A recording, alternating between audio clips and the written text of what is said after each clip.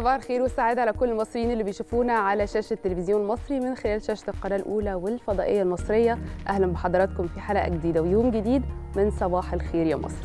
صباح الخير عليك يا أحمد. صباح الخير يا جمانة وصباح الخير على كل المصريين اللي بيشوفونا على شاشة التلفزيون المصري في حلقة الخميس 3 مارس 2022 من خلال برنامج صباح الخير يا مصر.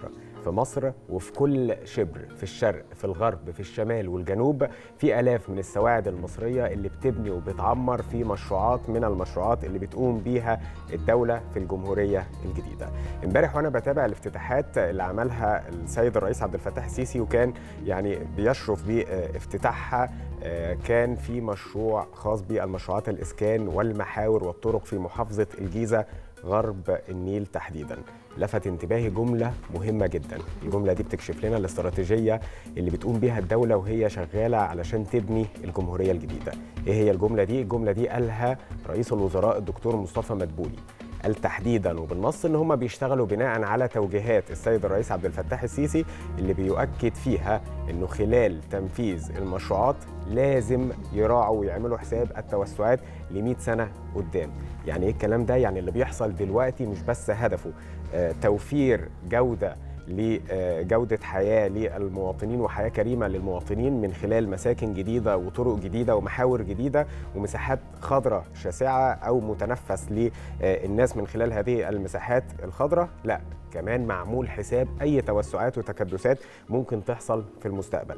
لأنه يعني خلي بالك كده وأنت بتأسس لأي مشروع لأي طريق جديد بيكون فيه تكلفة أقل بكتير من تكلفة تطوير طريق داخل الكتل السكنية بمجرد ما بتعمر الأماكن دي. ويمكن هو ده التحدي الجديد اللي شغال عليه الدولة دلوقتي في توسعة الطريق آه، الدائري. وشفنا إزاي هو اخذ وقت عن أي مشروع من المشروعات آه، الجديدة أو الطرق والمحاور الجديدة اللي بتتم في المدن الجديدة تحديدا علشان هنا في تكدسات مرورية. هنا في مناطق سكنية لكن هنا هي منطقة جديدة ودايما تكلفة البناء بتكون أقل من تكلفة إعادة التوسع أو إعادة التعمير مرة أخرى بعد السكن. لكن إحنا بنشتغل على محاور بنشتغل على طرق بنشتغل على مدن كمان بشكل عام سواء كان رفع كفاءتها أو مدن جديدة بمواصفات وتوسعات عالمية بتراعي كل المعايير العالمية علشان تقدر لا تستوعب آه، أي زيادة من الحركة المرورية في المستقبل. إن شاء الله يمكن ده التحدي الكبير اللي شغال عليه الدولة دلوقتي يا جمانة. هو فكره إن انت مش بس بتوسعي طريق لا انت كمان عاملة حساب زي ما قلنا 100 سنة قدام. صحيح يا أحمد يمكن كمان سيادة الرئيس عبد الفتاح السيسي تحدث أمس عن فكرة ربط كل المشروعات ببعض وأهميتها في تحسين جودة معيشة المواطن. يعني في تكامل ما بين المدن السكنية الجديدة والطرق والكباري آه، أيضا المواصلات حتى المشروعات التنمويه اللي موجودة في جميع أنحاء مصر عشان نخف من هذا التكدس. ما ينفعش نخف هذا التكدس فقط بأن إحنا يكون في عندنا مواصلات أو طرق فقط. ما ينفعش إن إحنا يكون عندنا فقط مدن جديدة. ده طبعا غير ربط كل آه، المؤسسات كمان آه، بربط رقمي عشان كمان كل المواطنين في كل الأماكن تقدر إن هي تحصل على كل الخدمات صحيح. اللي هي محتاجه فيها منظومة النقل الذكي. بالظبط هي كل كلها الحقيقة. منظومة يعني مرتبطة آه، ببعض. يمكن زي ما كان بيتكلم أحمد آه، في النهاية الاستراتيجية دي الحقيقة بتهدف لشيء واحد هو تحسين جودة معيشة المواطن المصري. يعني على سبيل المثال مثلا لو اتكلمنا ليه الدولة مهتمة آه، بفكرة المدن الجديدة. لأنه ببساطة في وقت سابق آه، خبراء التنمية العمرانية قالوا إنه ما ينفعش يكون في آه، تكدس في القاهرة بهذا الشكل. ليه ما ينفعش يكون في تكدس في القاهرة بهذا الشكل؟ لأنه نسبة البناء في القاهرة كانت حوالي 70% و20% فقط. يعني هي دي الطرق.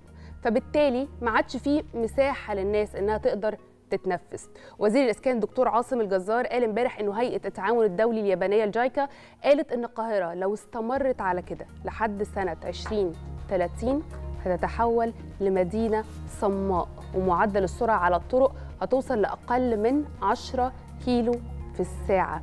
طبعا يعني ده هيؤدي إنه هتبقى القاهرة بيئة غير مناسبة للحياة أو للشغل.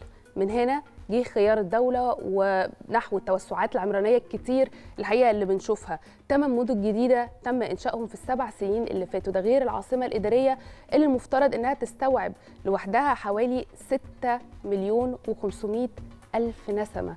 عشان كده شايفين دايما اهتمام كبير من الدولة بأنها توفر مساكن جديدة في كل المدن تناسب كل شرائح المجتمع من أول الإسكان الاجتماعي سكن مصر دار مصر لحد كمان إسكان متميز فيه مشروع جنة. ده غير المشروعات بقى الاستثمارية اللي بنشوفها. خلينا نبص ليها كده بصيغة أو بصورة أكبر.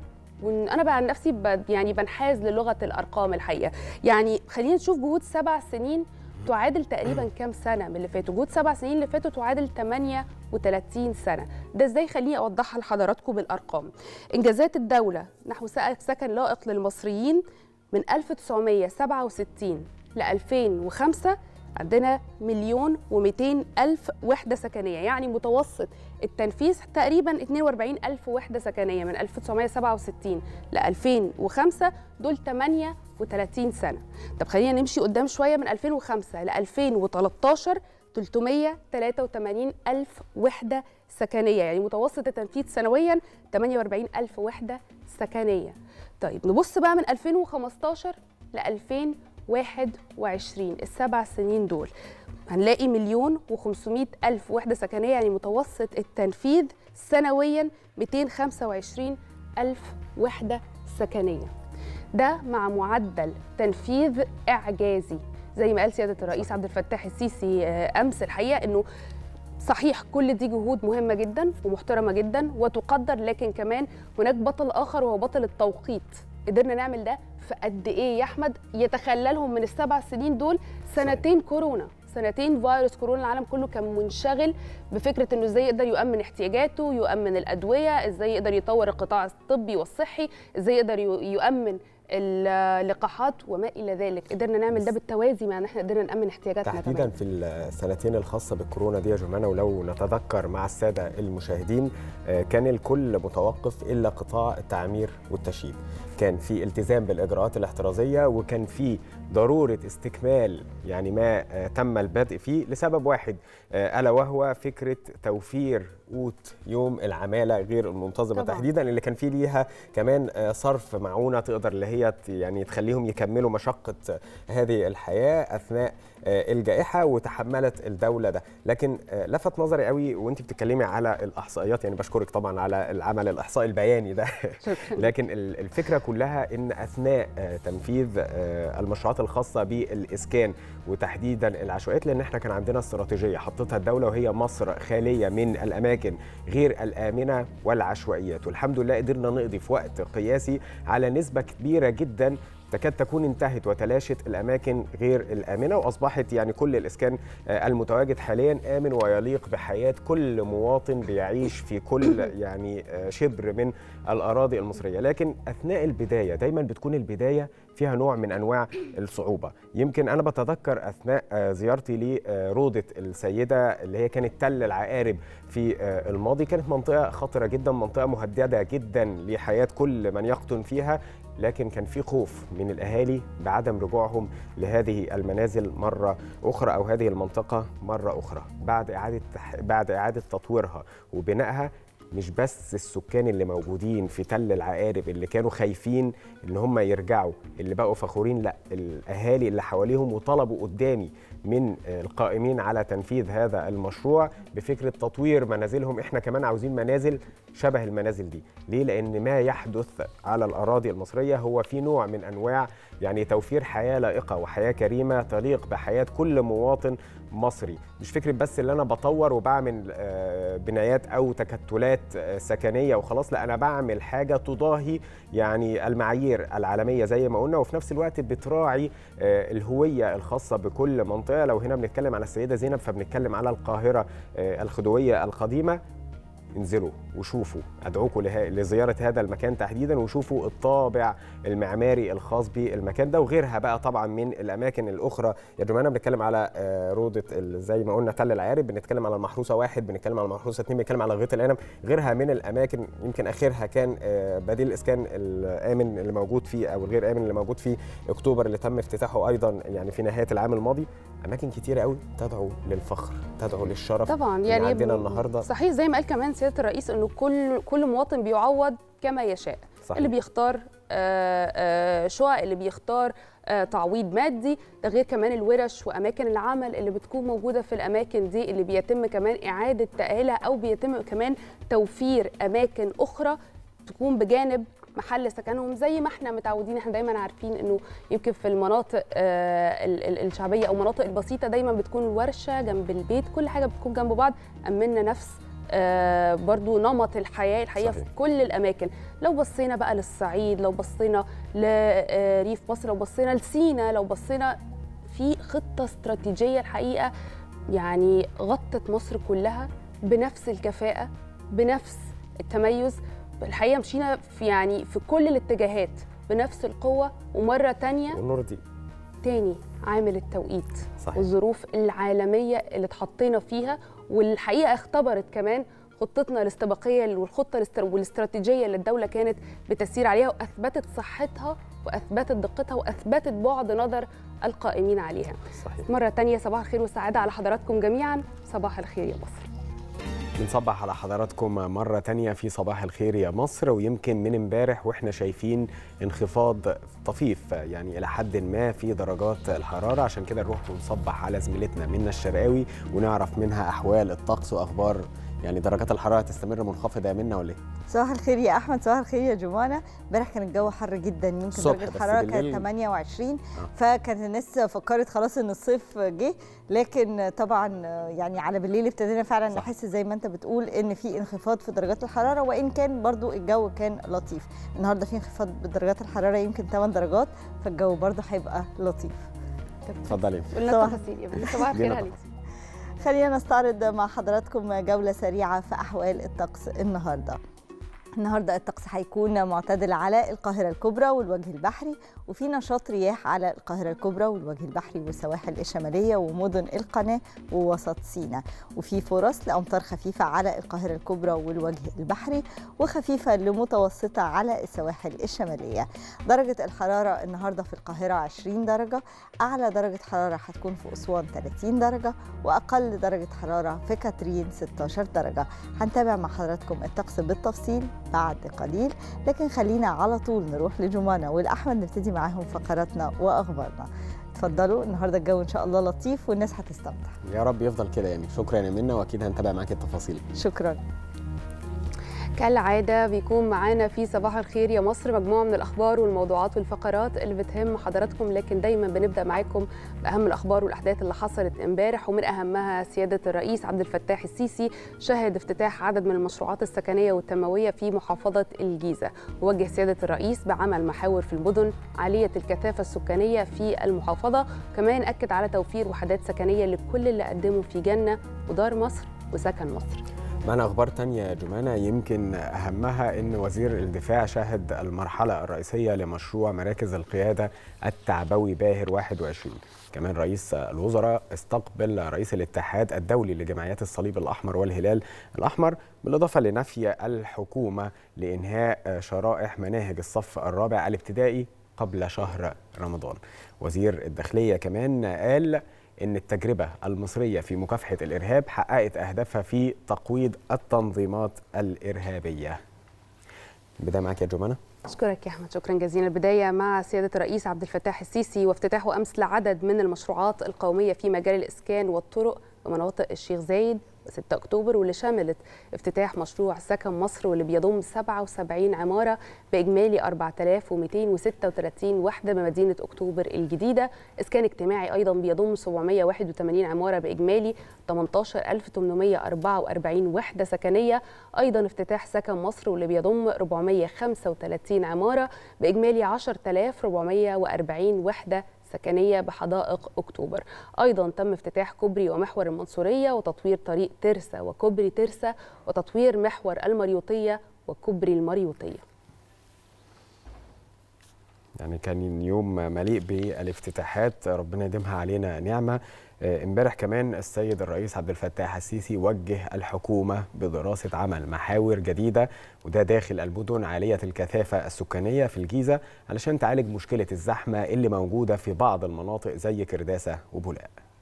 أنا كمان عايز أخلي المواطن اللي في بولاق ده يتحرك بشكل كويس اللي في في كرداس أصل إحنا اللي إحنا بنعمله ده. ما هو مش هدفه بس إن هو يتحرك كويس لكن كمان يحس إن هو يعني مش معقول تبقى البيوت كلها في الكتلة دي. الفاصل بين البيت والبيت مثلا 5 6 متر ولا 10 متر ولا حتى 20 فإحنا الموضوع ده محتاج دراسة مع محافظة الجيزة. نشوف آه، المحاور اللي موجودة بالفعل جوه جوه الأحياء ديت. ونبتدي نشوف إحنا هل ممكن نوسعها ولا لأ. أنا بقول الكلام ده وبسمع الناس ليه. لأن طبعا إحنا عشان نعمل ده هنضطر إن إحنا نعمل بعض الإزالات يا دكتور مصطفى. بس وأنا بقول برضو كلام ده ده مبدأ عام الدولة حطته على نفسها في إن هي أي إزالات بتتعمل لصالح النفع العام الدولة بت إيه؟ بتعوض الناس. وفي نفس السياق تطرق سيادة الرئيس عبد الفتاح السيسي عن موضوع مهم جدا وهو اشتراطات البناء. وقال سيادة الرئيس أن هذه النقطة عليها نقاش كبير وأنه البرلمان لازم يساعدنا في اللي إحنا بنعمله وأنه لازم أي بناء يكون مخطط بشكل منضبط. لكن أتصور إن البرلمان لازم يساعدنا في كده يساعدنا في في اللي إحنا بنعمله. ليه؟ اللي إحنا بنعمله مش الهدف إن إحنا نأذي المواطن ده المواطن ده بتاعنا مننا كلنا لكن إحنا بلد. فهنا لما نيجي نقول اشتراطات البناء آه، حد تاني يقول لي أنا لو مكانك ما خليش في محافظة القاهرة آه، حاجة تتبني تاني. كسكن وسط ما كانش حتة أرض فاضية والكلام يتعمل لها مخطط مظبوط آه، أرض كبيرة أرض تاخد لها 10000 وحدة. عشان أشيل قدام منها 20000 وحده مش كده؟ هعمل 10000 وحده عشان أشيل قدام منها ولا 5000 مش كده؟ أنت النهارده ال- لما تيجي تاخد كيلو في كيلو هنا في أي حتة في ال في ال في, ال في الصورة ديت. طب لو أنا عايز أفضي عشان أعمل زي ما قلت كده في الجيزة أو كده نعمل محورين واحد عرضي وواحد طولي زي مثلا اللي في النص ده مثلا يعني. لو حبيت أخليه ده عشان يبقى متنفس للناس خمسة وخمسة وأعمل كل مثلا كيلو واحد زيه. مش كده يا دكتور عاصم؟ نسبة التعويضات يا فندم بتساوي ضعف نسبة إنشاء الطريق تكلفة. طبعا طبعا طبعا. أنا بمناسبة آه، التخطيط السليم للبناء آه، تحدث السيد الرئيس عبد الفتاح السيسي امبارح عن التخطيط الخاص بالعاصمة الإدارية الجديدة. وقال إن العاصمة الجديدة مش محتاجة مترو أنفاق لأنه مش هيبقى في تكدس على أي من الطرق. والمنشآت اللي موجودة آه، في العاصمة الإدارية الجديدة بتوفر كل متطلبات الحياة ودي الرسالة اللي بنقولها للناس. لما الدولة بتعمل حاجة بتاخد بأساليب العلم والتخطيط السليم. أول ما بدأنا فيها دكتور مصطفى الناس انتقدتنا انتقاد شديد. اللي هو إن إحنا نعمل مدن جديدة وقال لك إن إنتوا رايحين تصرفوا فلوس كتير جدا آه، ملهاش لازمة. مش كده؟ أنا عايز أقول لكم على حاجة. لو كان الكلام ده اتعمل من 40 سنة وكان في تخطيط عمراني عمل في حساباته النمو ال- بتاع السكان بشكل حتى حتى لو إحنا دلوقتي بنحل الطرق وبنحاول نحسن من جودة الحياة. لكن ما زالت الأحياء زي كرداسة وأبو النمرس والخصوص وغيره وغيره. ولا إيه يا دكتور عاصم أنت اللي هتعرضه. مش كده؟ أنت بتكلمني لما بتتكلم في 7 8 مليون. 7 8 مليون دول يا إيهاب عايشين إزاي؟ عايزين ده لو كنا إحنا مرتبين نفسنا زي ما النهارده ال 50000 وحده سكنية اللي إحنا بنعملهم دول. تصوروا إن ال 50000 دول إحنا كنا عملنا أو الدولة كانت شاركت أو ساهمت أو ساعدت وخلت مع القطاع الخاص يبقى في تنمية في الإسكان متخططة ومترتبة معمولة بالشكل اللي أنتوا الافتتاح اللي اللي, اللي هنشوفه دلوقتي أو اللي إحنا بنعمله كامل. تمام انت النهارده بتعمل ده عشان تحل مسألة. تمام. الارقام اللي انت بتتكلم عليها هو لو انت النهارده انت بتعمل خط مترو أنفاق ليه؟ لانك انت ما عندكش فوق الأرض حاجة تقدر تتحرك أكتر من كده. بالظبط. صح كده؟ بالظبط. لكن لو أنا النهارده عامل هو أنا أقدر أقول ان أنا في في العاصمه الجديده محتاج اعمل مترو انفاق؟ لا متخططة من جديد خلاص مش كده؟ سطحي. وبالتالي لما تكون الدولة بتخطط حاجة ودي الرسالة اللي إحنا عايزين نوصلها للناس. لما الدولة تعمل حاجة بتاخد بأساليب العلم وبأساليب التخطيط السليمة في أي منشآت بتعملها. ومش بس كده. ولما تيجي تنفذها بتنفذها بالشكل اللي يتلائم مع متطلبات الحياة. لو في مدرسة تتعمل مدرسة لو في مستشفى بتتعمل مستشفى لو في نادي اجتماعي بيتعمل نادي اجتماعي لو في مناطق صناعية تخدم على الحي بنعمل مناطق حرفيه تتعمل. أيضا سيادة الرئيس عبد الفتاح السيسي تحدث عن ثقافة البناء غير المأهول وقال إنه دي ثقافة عند البعض إنه يبني بيت من خمس أو ست أدوار وهو مش محتاجهم في الوقت الراهن لكن تظل الأدوار دي بدون تشطيب وغير مأهولة. ودي بتكون استثمارات غير مفيدة في حين إنه ممكن يستثمر فلوسه دي في مجالات تانية أفضل. لكن لما يجي المواطن من غير ما يقصد كل واحد بيلاقي حتة أرض بنى عليها البيت بتاعه أو بنى بيت وخلاص. طب ال- الناس دي هتعيش إزاي؟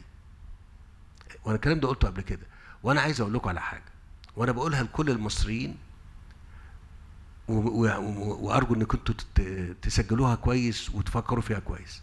أنا شايف إن كل واحد معاه قرشين يا دكتور مصطفى. بيعمل إيه؟ يبني حاجة.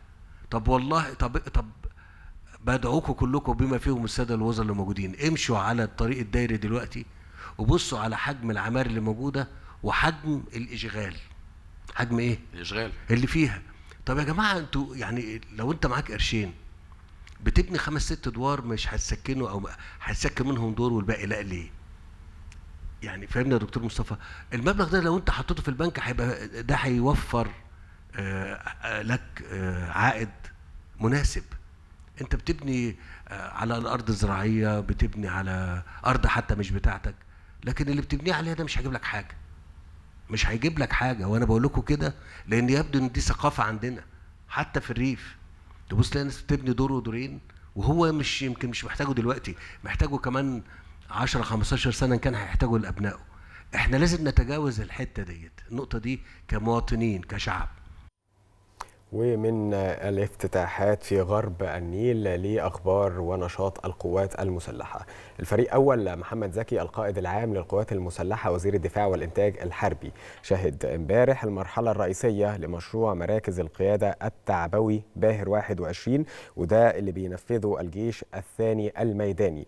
وهيستمر لعدة أيام في إطار خطة التدريب القتالي لتشكيلات ووحدات القوات المسلحة وده بحضور الفريق أسامة عسكر رئيس أركان حرب القوات المسلحة وقادة الأفرع الرئيسية وعدد من قادة القوات المسلحة. شهد الفريق أول محمد زكي القائد العام للقوات المسلحة وزير الدفاع والإنتاج الحربي. المرحلة الرئيسية لمشروع مراكز القيادة التعبوي باهر 21 والذي يجريه الجيش الثاني الميداني. وذلك في إطار خطة التدريب القتالي لتشكيلات ووحدات القوات المسلحة. وذلك بحضور الفريق أسامة عسكر رئيس أركان حرب القوات المسلحة وقادة الأفرع الرئيسية وعدد من قادة القوات المسلحة. وألقى اللواء أركان حرب نبيل حسب الله قائد الجيش الثاني الميداني كلمة أكد فيها على حرص القيادة العامة للقوات المسلحة لتقديم كافة أوجه الدعم للجيش الثاني الميداني لتنفيذ كافة المهام التي توكل إليه بكفاءة واقتدار. بدأت المرحلة الرئيسية للمشروع بتقديم عرض مختصر للفكرة التعبوية للمشروع والقرار المتخذ في الموقف أثناء المشروع. وناقش الفريق أول محمد زكي عددا من القادة والضباط المشاركين بالمشروع في أسلوب تنفيذهم لمهامهم ونقل القائد العام للقوات المسلحة وزير الدفاع والإنتاج الحربي. تحيات وتقدير السيد الرئيس عبد الفتاح السيسي رئيس الجمهورية القائد الأعلى للقوات المسلحة واعتزازه بالجهد الذي يبذله رجال الجيش الثاني الميداني لتنفيذ كافة المهام التي توكل إليهم. مشيدا بالمستوى الراقي الذي ظهرت به كافة العناصر المنفذة للمشروع بما ينم عن استعداد قتالي عال وتدريب مرموق. أدى إلى الاحترافية في تنفيذ المشروع مؤكدا أن القوات المسلحة قادرة على حماية الوطن وصون مقدساته بما تملكه من منظومة تسليح متطورة في كافة التخصصات وفرد مقاتل محترف قادر على تنفيذ كافة المهام تحت مختلف الظروف. وكان الفريق أسامة عسكر رئيس أركان حرب القوات المسلحة قد شهد مراحل من المشروع تضمنت عرض التقارير والقرارات والخطط المنفذة للمستويات المختلفة. وإجراءات تنظيم التعاون وفرض المواقف المتغيرة وكيفية التعامل معها بالشكل الأمثل أثناء مراحل إدارة العمليات. وناقش رئيس أركان حرب القوات المسلحة عددا من القادة والضباط بالمشروع في تنفيذهم لمهامهم وقام بفرض عدد من المواقف التكتيكية المفاجئة للتأكد من قدرتهم على اتخاذ القرار السليم أثناء سير المعركة وطلبهم بالحفاظ على المستوى المتميز والجاهزية القتالية العالية. لتنفيذ كافة المهام التي توكل إليهم. لسه مستمرين مع حضراتكم مع حضراتكم في استعراض أهم الأخبار والأحداث اللي حصلت امبارح. أيضا دكتور مصطفى مدبولي رئيس الوزراء استقبل أمس فرانشيسكو روكا رئيس الاتحاد الدولي لجمعيات الصليب الأحمر والهلال الأحمر. بمناسبة مشاركة رئيس الاتحاد في مؤتمر القيادة الإنسانية لمنطقة الشرق الأوسط وشمال إفريقيا واللي بيعقد لأول مرة في مصر تحت رعاية رئيس مجلس الوزراء. وقال دكتور مصطفى مدبولي إنه مصر بترحب باستضافة مقر إقليمي للاتحاد الدولي لجمعيات الصليب الأحمر والهلال الأحمر في العاصمة الإدارية الجديدة. ينتقل لخبر آخر امبارح اللواء محمود توفيق وزير الداخلية قال كلمة خلال افتتاح الدورة 39 لمجلس وزراء الداخلية العرب بتونس أكد فيها على أن التجربة المصرية في مجال مكافحة الإرهاب حققت أهدافها في تقويض حركة التنظيمات الإرهابية وتكثيف العديد من منابع تمويلها. انطلقت فعاليات اجتماعات الدورة التاسعة والثلاثين لمجلس وزراء الداخلية العرب بالجمهورية التونسية بمشاركة السيد محمود توفيق وزير الداخلية لتبادل الخبرات حول الأوضاع الأمنية العربية في ظل المتغيرات الإقليمية والدولية وسبل التنسيق لمواجهة التحديات الأمنية والمخططات الهدامة. يواجه عالمنا العربي تحديات متنامية في ظل التحولات والمتغيرات الإقليمية والدولية التي تلقي بظلالها على مناخ الاستقرار الأمني وتمثل عائقا أمام عمليات التحديث والتنمية في دولنا بما يؤكد أهمية مواصلة جهودنا المشتركة لتحقيق التكامل وتطوير السياسات الأمنية لفرض واقع آمن لمنطقتنا العربية. وتطرق وزير الداخلية خلال كلمته أمام المؤتمر إلى أهمية تعزيز منظومة التعاون الأمني العربي وكذلك مع دول الجوار لتقييد حركة التنظيمات الإرهابية عبر الفضاء الإلكتروني والرصد المبكر لأنشطتها وقدراتها البشرية والتسليحية وإحباطها. ولقد أكدت عملية المتابعة والرصد الأمني استمرار المحاولات الآثمة للتنظيمات المتطرفة بمختلف اتجاهاتها لإعادة التمركز وتشكيل هياكلها المنهارة بهدف استعادة توازنها في أعقاب الضربات الأمنية الحاسمة التي تعرضت لها واتخاذها في هذا الإطار من بعض مناطق محيطنا الإقليمي منطلقا للإعداد والتخطيط لعملياتها الإرهابية وتكثيف عمليات التحريض ونشر الفكر المضلل واستقطاب عناصر جديدة لصالحها من خلال تطوير التقنيات الحديثة وشبكة المعلومات الدولية. كما أشار إلى مخاطر الجريمة المنظمة وتداعياتها على الأمن العربي باتخاذها مناطق التوترات مسرحا لأنشطتها الإجرامية وأكد على نجاح الاستراتيجية الأمنية المصرية في تحقيق نقلة نوعية في شتى مجالات العمل الشرطي. وقد حققت التجربة المصرية في مجال مكافحة الإرهاب مستهدفاتها في تقويض حركة التنظيمات الإرهابية ومقدراتها وتكثيف العديد من منابع تمويلها وأسفرت الجهود المبذولة عن توجيه الضربات الأمنية النوعية لعصابات الجريمة المنظمة خاصة العاملة في مجال تهريب المهاجرين عبر الحدود أو باستخدام الوثائق المزورة. فضلا عن التصدي لمحاولات إغراق منطقتنا العربية بالمواد المخدرة حيث تمثل تلك الجهود خط مانع لاتخاذ الساحة المصرية معبرا لعمليات التهريب لدول المنطقة كما تحرص الوزارة على اتخاذ خطوات نوعية في مجال الارتقاء بحقوق الإنسان. من خلال إحداث طفرة حقيقية في مفاهيم وأساليب السياسة العقابية. باستبدال السجون التقليدية بمراكز للإصلاح والتأهيل وفقا لأعلى المعايير الدولية لحقوق الإنسان. كما أشار إلى أهمية التعاون في المجال التدريبي لتطوير أداء العنصر البشري والارتقاء بالأداء الشرطي. وإيمانا بأهمية تبادل الخبرات بين وزارات الداخلية العربية لتطوير العنصر البشري والارتقاء بالأداء الشرطي قامت وزارة الداخلية بتنفيذ فعاليات تدريبية وبحثية بالتعاون مع المكتب العربي للتوعية الأمنية والإعلام ومشاركة الكوادر الشرطية العربية حول الإعلام الأمني ومواجهة الشائعات وحقوق الإنسان في العمل الأمني. ويعد اجتماع مجلس وزراء الداخلية العرب الذي يتم سنويا فرصة للدول العربية المشاركة للاطلاع على آخر المستجدات الأمنية العربية وتدعيم أواصر التعاون الأمني العربي للمواجهة الفاعلة للإرهاب والجريمة العابرة للحدود. ومن الأخبار اللي حصلت امبارح للأخبار اللي هتحصل النهاردة بمشيئة الله تعالى. النهاردة أكاديمية البحث العلمي وتكنولوجيا المعلومات هتنظم ورشة عمل بعنوان التنمية المستدامة لإنتاج الألبان وبتستهدف طرح الدراسات الخاصة بتنمية وتطوير إنتاج الألبان في الريف المصري. أيضا النهارده هتنطلق فعاليات الدورة الثانية من مهرجان دندرة للموسيقى والغناء واللي بيقام بمحافظة قنا وبتنظمه وزارة الثقافة بالتعاون مع وزارة السياحة والآثار. هيحضر حفل الافتتاح وزيرة الثقافة إيناس عبد الدايم ويشهد الحفل مشاركة فرقة قنا للفنون الشعبية التابعة للهيئة العامة لقصور الثقافة. النهارده كمان آخر يوم لتقديم الالتماس في كلية الآداب بجامعة القاهرة وده على نتائج امتحانات الفصل الدراسي الأول للعام الجامعي.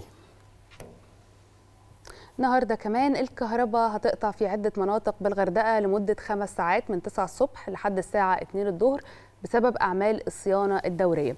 المناطق اللي هتتأثر بقطع الكهرباء هي مستر ترافل أرض المعارض الصوبات الزراعية. مشاهدينا فقراتنا لسه مستمرة مع حضراتكم لغاية الساعة 10 صباحا. معانا فقرات كتير جدا هامة يعني من أهمها طبعا هنتكلم أكتر عن أهم الرسائل وأهمية الافتتاحات اللي تابعناها امبارح مع سيادة الرئيس عبد الفتاح السيسي المشروعات السكنية ومشروعات الطرق. هنتكلم عنها بالتفصيل. أيضا معانا فقرة فنية لبنانية مع المطربة تانيا إسيس. لكن اسمحوا لنا نخرج لفاصل سريع ونرجع لحضراتكم على طول.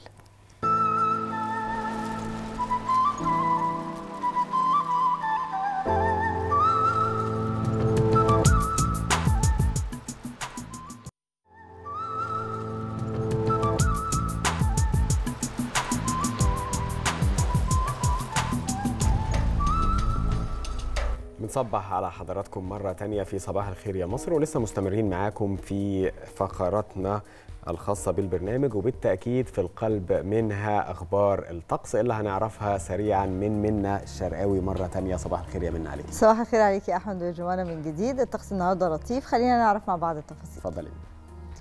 الأرصاد الجوية بتتوقع استقرار في الأحوال الجوية النهاردة والطقس هيكون معتدل بالنهار على القاهرة الكبرى والوجه البحري مائل للبرودة على السواحل الشمالية الغربية وشمال الوجه البحري معتدل على السواحل الشمالية الشرقية ووسط سيناء دافئ على جنوب سيناء وسلاسل جبال البحر الأحمر مائل للدفء على شمال الصعيد ودافئ على جنوب الصعيد.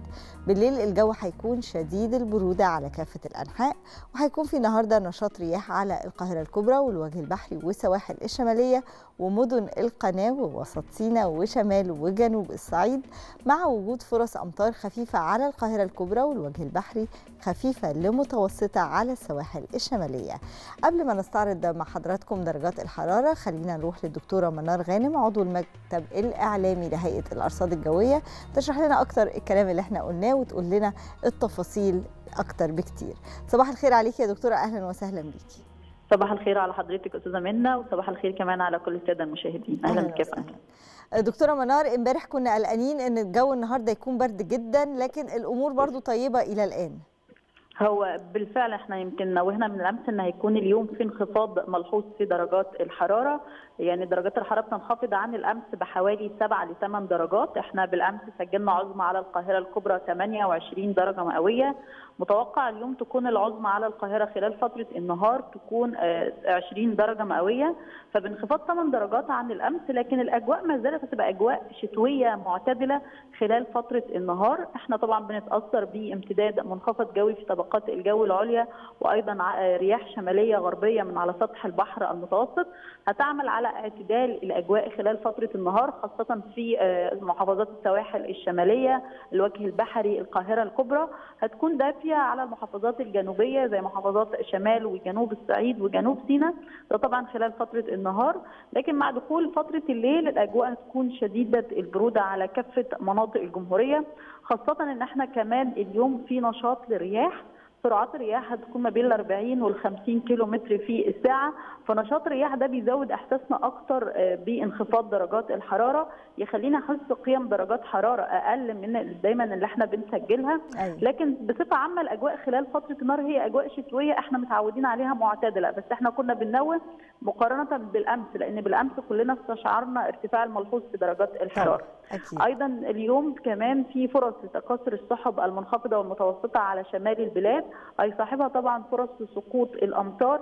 الأمطار دي هتكون أمطار خفيفة المتوسطه على مناطق من السواحل الشمالية. كل المحافظات المطلة على البحر المتوسط. قد تمتد خفيفه لبعض المناطق من محافظات جنوب الوجه البحري القاهرة الكبرى. تبقى على فترات متقطعة لكن ما فيش قلق منها تماما غير مؤثرة تماما على أعمال الأنشطة اليومية. طبعا الأجواء دي والانخفاض ده هيستمر معانا كمان لغدا الجمعة بإذن الله لكن مش هيكون الحمد لله في نشاط للرياح أو هيكون في سقوط أمطار. غدا بس ما زالت درجات الحرارة هتكون يعني ما بين ال 20 وال 21 على القاهرة الكبرى. أجواء برضو ده شتوية جو معتدل. جدا بالنسبة للشتاء يعني معقول آه، جدا. بالظبط بالنسبة للشتاء وبالنسبة لانخفاضات درجات الحرارة اللي إحنا كنا بنشهدها في فصل الشتاء. يعني إحنا قبل كده كنا بنسجل 12 و16 درجة مئوية ف 20 درجة مئوية دي أجواء معتدلة جدا. آه، بس هي التحذير هنا من يعني عدم تخفيف الملابس أو الانخداع بفترات الاستقرار أو سطوع أشعة الشمس أو الطقس خلال فترة النهار. إحنا مع ساعات الليل الطقس بيكون شديد البروده فيعني نبقى دايما حذرين من الساعات المتأخرة من الليل والصباح الباكر ويعني عدم تخفيف الملابس على الأقل لانتهاء فصل الشتاء بإذن الله. طيب الربيع إمتى بقى يا دكتور؟ هو طبعا فصل الشتاء هينتهي 20 مارس ويبدأ فصل الربيع 21 مارس. فإحنا إلى الفترة دي وارد جدا يحصل فيها تقلبات جوية بين ارتفاع وانخفاض في درجات الحرارة لأن إحنا كمان ابتداء من السبت القادم هتبدأ تدريجيا درجات الحرارة ترتفع ويمكن يوم الأحد القادم هيبقى فيه كمان ارتفاع ملحوظ في درجات الحرارة. فإلى نهاية فصل الشتاء وبداية فصل الربيع اللي هيبتدي 21 مارس وارد جدا يحصل تقلبات جوية لأن دي فترة انتقالية بين التوزيعات الطقسية بتختلف من فصل الشتاء لفصل الربيع بين الرياح الجنوبية اللي دايما بترفع درجات الحرارة أو الرياح الشمالية الغربية اللي بتؤدي لانخفاض في درجات الحرارة. أكيد. نتمنى الخير والسلامة لكل الناس ونتمنى استقرار أكتر في الأحوال الجوية. دكتورة منار غانم عضو المكتب الإعلامي لهيئة الأرصاد الجوية شكرا جزيلا لحضرتك. خلينا دلوقتي مشاهدينا نستعرض مع حضراتكم درجات الحرارة المتوقعة النهارده ونبتدي بطبيعة الحال من القاهرة. العظمى فيها 20 والصغرى 10 الإسكندرية 17 11 مطروح 17 11 سيوة 17 10 بورسعيد 19 11 دمياط 19 11 الإسماعيلية 20 10 السويس 21 10 العريش العظمى 18 والصغرى 11 طابة 22 13 كاترين 16 3 شرم الشيخ 24 14 الغردقة 25 14 الفيوم 21 10 بني سويف 20 10 والمنيا 19 8 زي ما بنقول بيحصل ارتفاع في درجات الحرارة في جنوب مصر في الصباح وبيحصل انخفاض شديد في أثناء الليل. هنشوف من أول بقى أسيوط درجة الحرارة هتكون 20 والصغرى 8 سوهاج 22 9 قنا 23 10 الأقصر 28 درجة والصغرى 10 أسوان بتسجل 30 درجة النهاردة والصغرى 12 الوادي الجديد 24 8 شلاتين 30 12 أما حلايب العظمى فيها 29 والصغرى 13 اجمالا الجو إن شاء الله مستقر استمتعوا اللي عنده النهارده مشاوير يقدر يقضيها بمنتهى اليسر والسهولة إن شاء الله الجو هيكون ظريف جدا النهارده وبكرة. شاء الله أحمد. وجمانة الجو لطيف. شكرا يا الحمد منى. لله بنشكر ربنا. الحمد لله. شكرا يا منى. طيب النهارده بنحتفل مع حضراتكم بذكرى ميلاد أيقونة فنية واحدة من أهم ممثلات جيلها والحقيقة إن هي تركت بصمة مهمة آه، في السينما. يمكن البعض يصنفها إنها يعني فنانة كوميدية لكن هي فنانة شاملة الحقيقة فنانة برغم طاقتها الفنية الهائلة إلا إنها تدخل قلبك بمنتهى السهولة والهدوء. فنانة جمعها أعمال مميزة جدا مع الأستاذ فؤاد المهندس وقدمت فوزية في سك على بناتك. هي القديرة سناء يونس.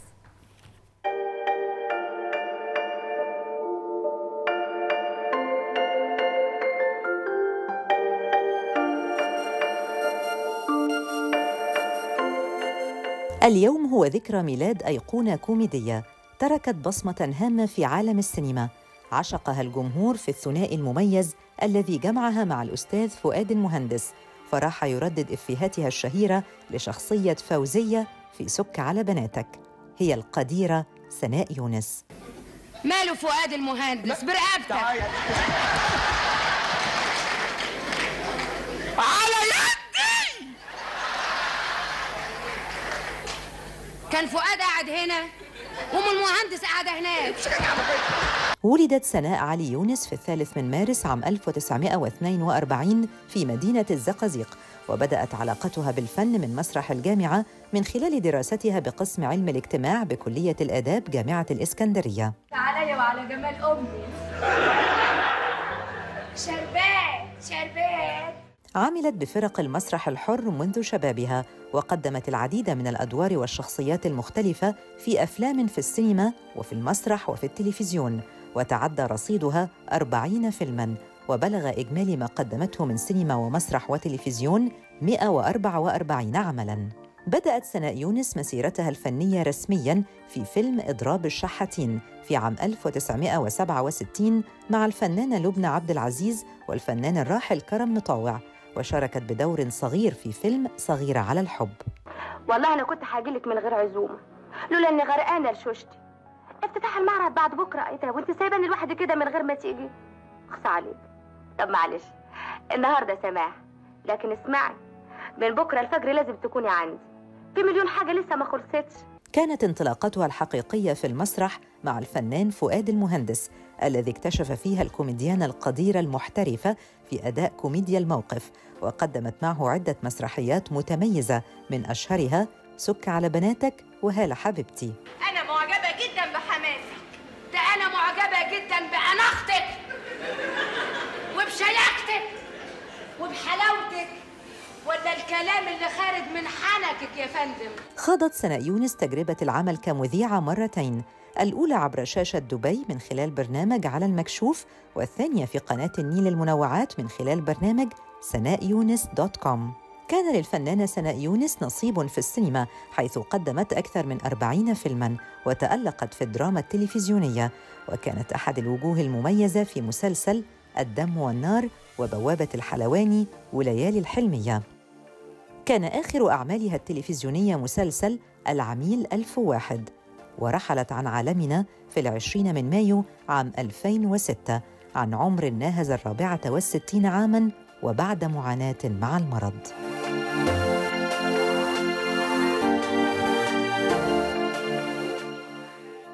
رحمة الله على الفنانة القديرة سناء يونس ونروح لموضوع تاني من موضوعاتنا الهامة في صباح الخير يا مصر. زي ما إحنا عارفين إن في اهتمام كبير جدا من الدولة بملف توطين الصناعة وتحديدا صناعة السيارات خاصة السيارات الكهربائية اللي العالم كله بيتجه ليها حاليا علشان يعني كده الحكومة شغالة على إعداد استراتيجية لصناعة السيارات وهيتم إطلاقها قريباً.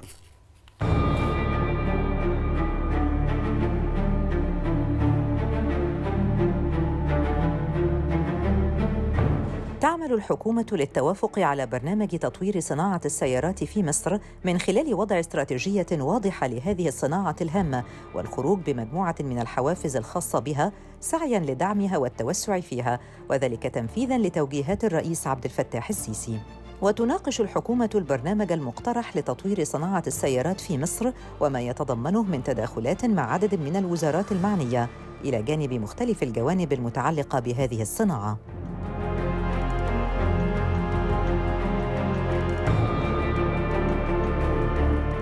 وترتكز رؤية البرنامج المقترح على إحداث تطوير لصناعة سيارات قادرة على المنافسة دولياً بما يجعل مصر مركزاً إقليمياً لهذه الصناعة. كما يستهدف البرنامج جذب استثمارات جديدة وتنمية الصادرات بجانب توفير فرص عمل جديدة والعمل على تطوير سوق محلي تنافسي والوصول بالقيمة المضافة المحلية إلى نسب متقدمة. فضلاً عن إحداث تطوير تكنولوجي كبير في هذه الصناعة الحيوية.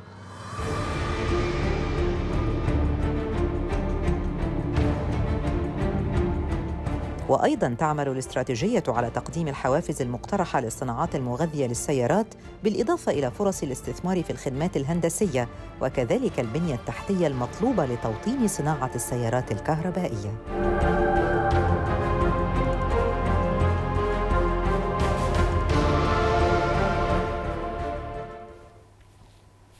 الثامنة صباحا موعدنا مع موجز لأهم الأنباء مع منى الشرقاوي. اتفضلي يا منى شكرا لك جمانة. الثامنة صباحا بتوقيت القاهرة السادسة بتوقيت جرينتش موجز الأخبار من التلفزيون المصري. أهلا بكم. وجه الرئيس عبد الفتاح السيسي بدراسة عمل محاور جديدة داخل المدن عالية الكثافة السكانية في نطاق محافظة الجيزة. جاء ذلك خلال افتتاحه عددا من المشروعات القومية في قطاعي الإسكان والطرق بمدينة السادس من أكتوبر. حيث أشار الرئيس السيسي إلى أن تنفيذ بعض الطرق والمحاور داخل المدن يستلزم تنفيذ بعض الإزالات السكانية مشددا على أن آية إزالات تتم للصالح العام يتم تعويض أصحابها. وأكد الرئيس السيسي أن اهتمام الدولة بالطرق خلال السنوات الأخيرة جاء لتيسير حركة المواطنين والتجارة مشددا على أن المشروع القومي للطرق تم إنجاز نسبة كبيرة منه في مختلف أنحاء الجمهورية بمعدلات غير مسبوقة عكس ما يتردد حول الاهتمام بمحيط القاهرة فقط. أعلنت وزارة الصحة والسكان عن خروج 981 متعافيا من فيروس كورونا من المستشفيات وذلك بعد تلقيهم الرعاية الطبية اللازمة وتمام شفائهم. ليرتفع إجمالي المتعافين من الفيروس إلى 416471 حالة.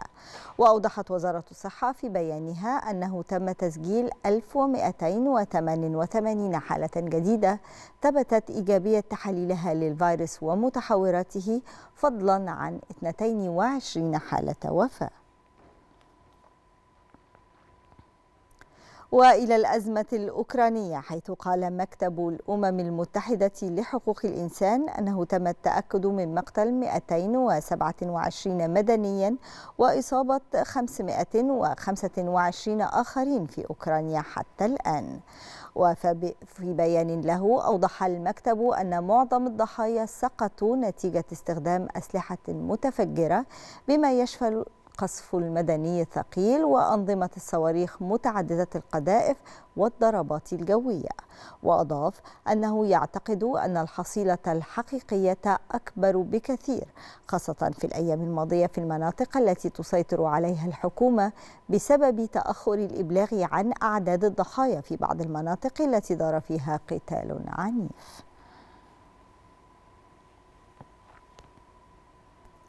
قال الرئيس الأمريكي جو بايدن إن تصويت الجمعية العامة للأمم المتحدة لصالح إدانة روسيا بسبب هجومها على أوكرانيا يوضح مدى الغضب العالمي من عدوان روسيا المروع على دولة مجاوره ذات سيادة ويظهر اتحادا عالميا غير مسبوق.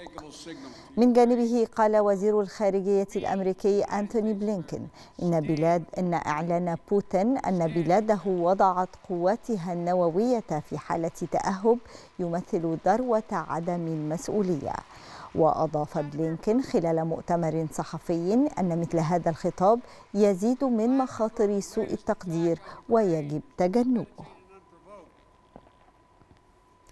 أكد المدعي العام للمحكمة الجنائية الدولية كريم خان أنه سيفتح على الفور تحقيقا في ارتكاب جرائم حرب محتملة في أوكرانيا بعد تلقيه طلبا بذلك من 39 دولة من الدول الأعضاء بالمحكمة.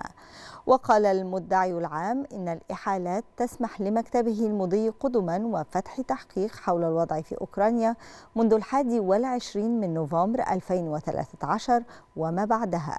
وبما يشمل أي مزاعم في الماضي والحاضر عن جرائم حرب أو جرائم ضد الإنسانية أو إبادة جماعية ارتكبت في أي جزء من أراضي أوكرانيا على يد أي شخص. خفضت وكالة فيتش للتصنيفات الائتمانية التصنيف السيادي لروسيا مشيرة إلى أن تصنيف روسيا انخفض من BBB إلى B ردا على الأزمة الأوكرانية. وقالت إن روسيا وضعت قيد مراقبة تصنيف سلبية مشيرة إلى أن شدة العقوبات الدولية ردا على الهجوم العسكري الروسي لأوكرانيا زادت من المخاطر على الاستقرار المالي الكلي وتمثل صدمة هائلة لأسس الائتمان في روسيا ويمكن أن تقوض استعدادها لخدمة ديون الحكومة. يأتي هذا فيما أعلن البنك الدولي وقف جميع البرامج في روسيا وبيلاروسيا بشكل فوري في أعقاب الهجوم الروسي لأوكرانيا.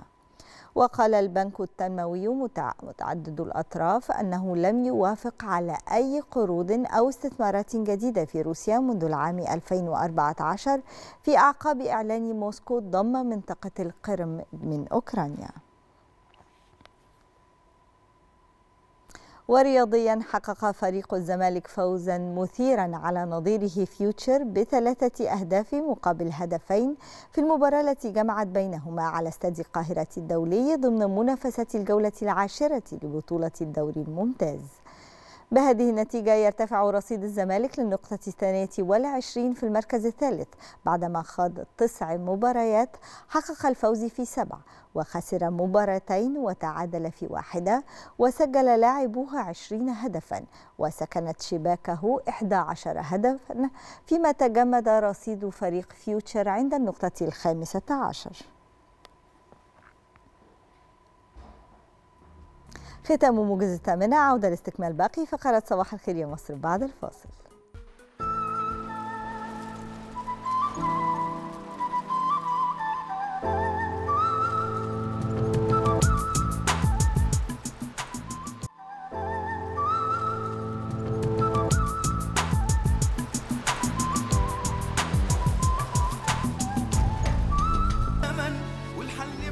نرحب بحضراتكم من جديد. الحقيقة إنه من أهم القطاعات وأنشطها خلال الفترة اللي فاتت هو قطاع السياحة والآثار. خلال أقل من أسبوع أعلنت وزارة السياحة والآثار عن ثلاث اكتشافات أثرية هامة كان آخرها كشف أثري فريد بمعبد بمعبد كومومبو بأسوان واللي هيكلمنا عنه الدكتور عبد المنعم سعيد مدير عام آثار أسوان والنوبة. صباح الخير على حضرتك يا فندم واهلا بيك معنا في صباح الخير يا مصر. صباح الخير أستاذ جمانة وصباح الخير أستاذ أحمد وكل سنة وأنتم طيبين وكل سنة ومصر طيبة وفي أمن وأمان وتقدم دايما يا رب. اللهم آمين. يعني يا فندم الحقيقة إنه إحنا في الفترة اللي فاتت مصر شهدت العديد من الاكتشافات الأثرية وكلها مهمة الحقيقة. لو هنتكلم تحديدا عن آخر ثلاث اكتشافات يا ريت تقول لنا تفاصيل أكتر يا فندم عن الاكتشاف الأخير وتكشف لنا أكتر عنه وعن محتوياته. أنا عجبتني كلمة قلتها حضرتك يا أستاذة جمانة كشف فريد. فعلا الكشف بتاع امبارح ده فريد من نوعه لأنه غير كل تاريخ المنطقة بالكامل. كل اللي كنا عارفينه في الأول إن معبد كوبومبو معبد بطلمي من إزاي يا فندم؟ قبل الميلاد لغاية 219 ميلادية. بعد شوية بعد مشروع تخفيض منسوب المياه الجوفية وما صاحبه من اكتشافات أثرية جميلة جدا قلنا معبد كوبومبو بيرجع لعصر الدولة الحديثة يعني حوالي 1500 قبل الميلاد. النهارده وبعد الكشف الأخير ده لقينا آثار في معبد كوبومبو بتعود إلى عصر الانتقال الأول. يعني بنتكلم في أكثر من 4200 سنة من 2080 قبل الميلاد. تخيلي لما أرجع بمعبد بالفترة دي. مش كده وخلاص. ده إحنا لقينا أختام بتعود إلى عصر الدولة القديمة. لقينا مستعمرة سكنية بتعود إلى عصر الدولة القديمة. لقينا فخار بيعود إلى عصر الأسرة الثانية والثالثة. يعني معنى كده إن المنطقة قديمة جدا وأقدم ما كنا نتخيل. الكشف فريد من نوعه إيه كمان؟ عبارة عن مباني من الطوب اللبن بتمثل الحياة اليومية والحياة الاجتماعية. لما لما الاقي مبنى إداري متكامل فيه ملحق به المخازن والصوامع التي كانت تخزن بها الغلال اللي بتوزع على الشعب كله بالكامل. يعني بتكلم في حياة اجتماعية. حاجة جديدة خالص. بيصل ارتفاع المباني فيها إلى 2 متر. حاجة ثانية فريدة من نوعها برضه في الكشف ده إن أنا بلاقي حصن. من عصر الاحتلال الإنجليزي. كان موجود أثناء الحركة أو الثورة المهدية في السودان كان بيستخدم عشان موجود على النيل مباشرة لحماية المنطقة الجنوبية في مصر بالكامل، يعني كلها حاجات فريدة لم ولم تتكرر حتى الآن. عشان كده بنقول الكشف بتاع كومومبو ده كشف متميز بيغير لي التاريخ بالكامل في هذه المنطقة. نعم دكتور عبد المنعم يعني في الحقيقة آه، مدينة أسوان هي مدينة شهرتها آه، تخطت حدودها وفي الحقيقة كل يوم بالآثار اللي بيتم اكتشافها بتحط لنفسها مكانة جديدة عالميا. عاوزين نعرف بقى أهمية الكشف ده آه، يعني على الصعيد المحلي والعالمي وحدود وخصوصا يعني وهو تم اكتشافه داخل معبد من أجمل معابد مصر معبد كومومبو. في الحقيقة أستاذ أحمد يعني عايز أقول لحضرتك يمكن أنت قلت كلمة لو أنا قلتها هتبقى شهادتي مجروحة عشان أنا في أسوان نعم. لكن فعلا في الآونة الأخيرة عشان إحنا قلنا قبل كده في بداية كلامنا زمان إن أسوان ما زالت ذكر يعني الآثار لسه عندنا كتير أكثر من 60% صحيح. لم تبوح عنه الأرض الأسوانية حتى الآن فبالفعل على سبيل المثال وليس الحصر الكشف ده بالذات اللي إحنا اعلنا والوزارة أعلنت عنه بالأمس مثل مرحله كبيرة جدا وخطيرة جدا في مراحل التاريخ المصري القديم بالكامل. الاكثر من كده كمان يمكن لسه قبلها بفترة بسيطة تم الكشف عن أقدم كتابة مصرية قديمة في أسوان في منطقة الخوي بالقرب من كومومبو ومن ادفو كنا الأول بنقول أقدم كتابة موجودة في أبيدوس. لا دلوقتي رجعنا قلنا أقدم كتابة مصرية قديمة من حوالي 3400 قبل الميلاد موجودة في أسوان. فلما أجي أقول الكشف بتاع امبارح بيرجع معبد كومومبو إلى عصر الأسرة الثانية يعني عصر التوحيد أسرة أولى وأسرة ثانية يعني معنى كده العالم كله بره هيبدأ يغير كتابة التاريخ مرة ثانية للمنطقة دي على وجه التحديد كجزء من اسوان ولسه في حاجات كتيرة كده أنا قلت قبل كده في اللقاء السابق لسه في حاجات كتيرة في اسوان لم يتم الإعلان عنها بعد. دكتور عبد المنعم يعني حضرتك تحدثت إنه كان من المتعارف عليه أو اللي كنا عارفينه إنه آه، يعني عمر المعبد بيرجع ل 1500 سنة قبل الميلاد لكن اكتشفنا بهذا آه، الاكتشاف الأخير إن هي ترجع لما أكثر من 4000 سنة. عايزه أعرف من حضرتك يا فندم هل هذا الكشف يعني كشف لنا عن أسرار جديدة وضح لنا ملامح أخرى عن هذا الوقت أكثر من اللي كنا نعرفه؟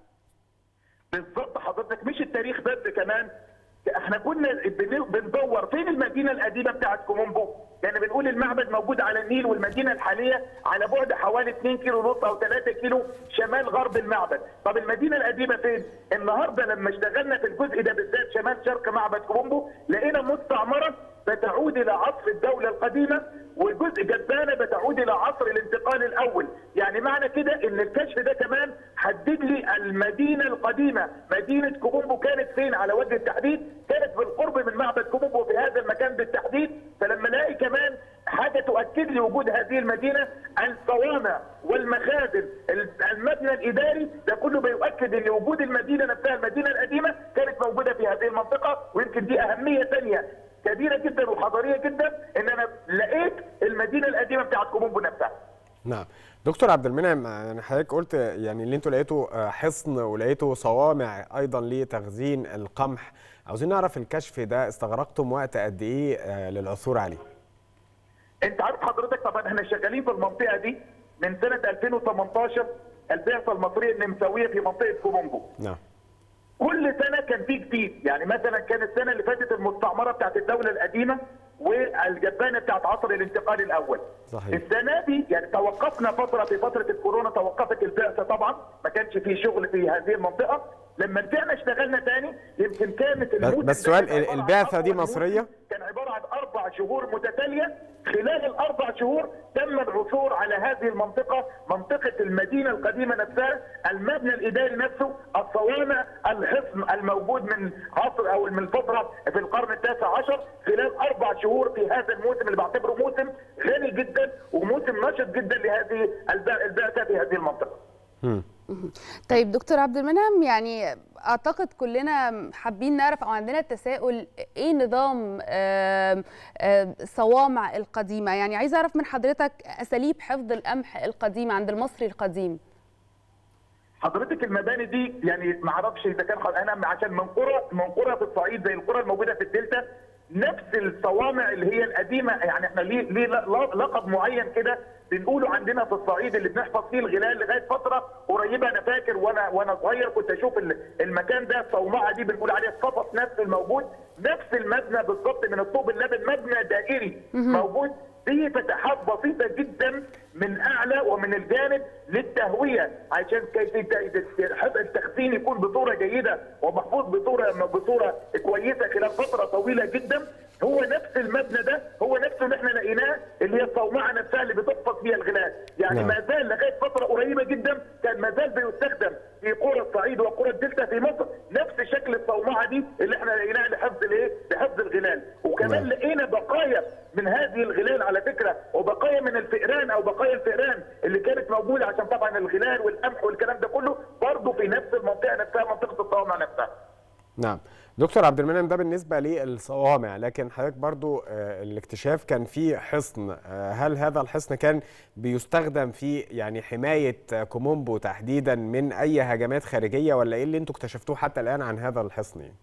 بالظبط يا أستاذ أحمد كان مش منطقة كوبونبو بس المنطقة الجنوبية بالكامل لأن كان موجود على النيل وفي مبنى مرتفع جدا فوق التل الأثري بتاع تل كوبونبو ولقينا كمان في بقايا من الخوذ اللي كان بيستخدمها الجنود بقايا من البدل بتاعتهم اللي كانوا بيستخدموها بقايا من السجاير اللي كانوا بيستخدموها لأن كانت في جنود أجنبية موجودة في هذه المنطقة بالإضافة إلى الجنود المصرية اللي كانت موجودة. حاجات تعرفت عليها البعثة سواء من النمسا من إنجلترا من أماكن متعددة لقوا حاجات مخلفات ما زالت موجودة في هذا الحصن. فهذا الحصن استخدم في في فترة زمنية معروفة كانت الثورة المهدية في السودان فكانوا قلقانين على الناحية الجنوبية من مصر. فكان هذا الحصن بيستخدم للدفاع عن أي هجمات تيجي للمنطقة الجنوبية آه، في معبد كومومبو أو خلف معبد كومومبو أعلى التل الاثري طيب دكتور عبد المنعم يعني أخيرا هل انتهى الكشف آه، في هذه المنطقة ولا هذا الكشف بينذر آه، بوجود حاجة أكبر حضراتكم مستنيينها أو عارفينها أو بتطمحوا إن أنتوا تلاقوها؟ لا ده بيعتبر بالنسبة لنا بداية. إحنا كنا بنقول عايزين نلاقي المدينة الأساسية بتاعه كومبو فاحنا كده لقينا أول جزء أو أول خيط هيوصلنا للمساكن كلها نفسها. المنازل سواء بتاعة الكهنة أو المنازل بتاعة عامة الشعب. ده كله أو المنازل بتاعه العمال اللي اشتركوا في بناء المعبد. ده كله إحنا بازلنا بندور وبنبحث. فده يعتبر نواة يعتبر إشارة لينا إن إحنا ماشيين في الطريق الصحيح عشان نكشف عن هذه الم... هذه المدينة بالكامل. يعني الحقيقة دكتور عبد المنعم آه، سعيد مدير عام أف- آثار أسوان والنوبة بنشكرك جزيل الشكر. وزي ما حضرتك قلت يعني إحنا بنتكلم على ثلاث اكتشافات فريدة يعني آه، تضم لباقي الاكتشافات اللي اكتشفناها على مدار آه، السنوات الأخيرة. وحضرتك بتقول إن دي لسه نواة أو خيط بداية إن أنتوا كمان تقدروا تعثروا على اكتشافات كبيرة ومهمة كمان في الفترة اللي جاية. من جنوب الصعيد لغرب النيل تحديدا وافتتاحات الأمس اللي كانت بحضور السيد الرئيس عبد الفتاح السيسي لعدد من مشروعات الإسكان الجديدة في أكتوبر ومدينة الشيخ زايد. وكان السيد الرئيس عبد الفتاح السيسي حريص على تفقد عدد من الوحدات السكنية وده للاطمئنان على مستوى التشطيب بداخل هذه الوحدات السكنية.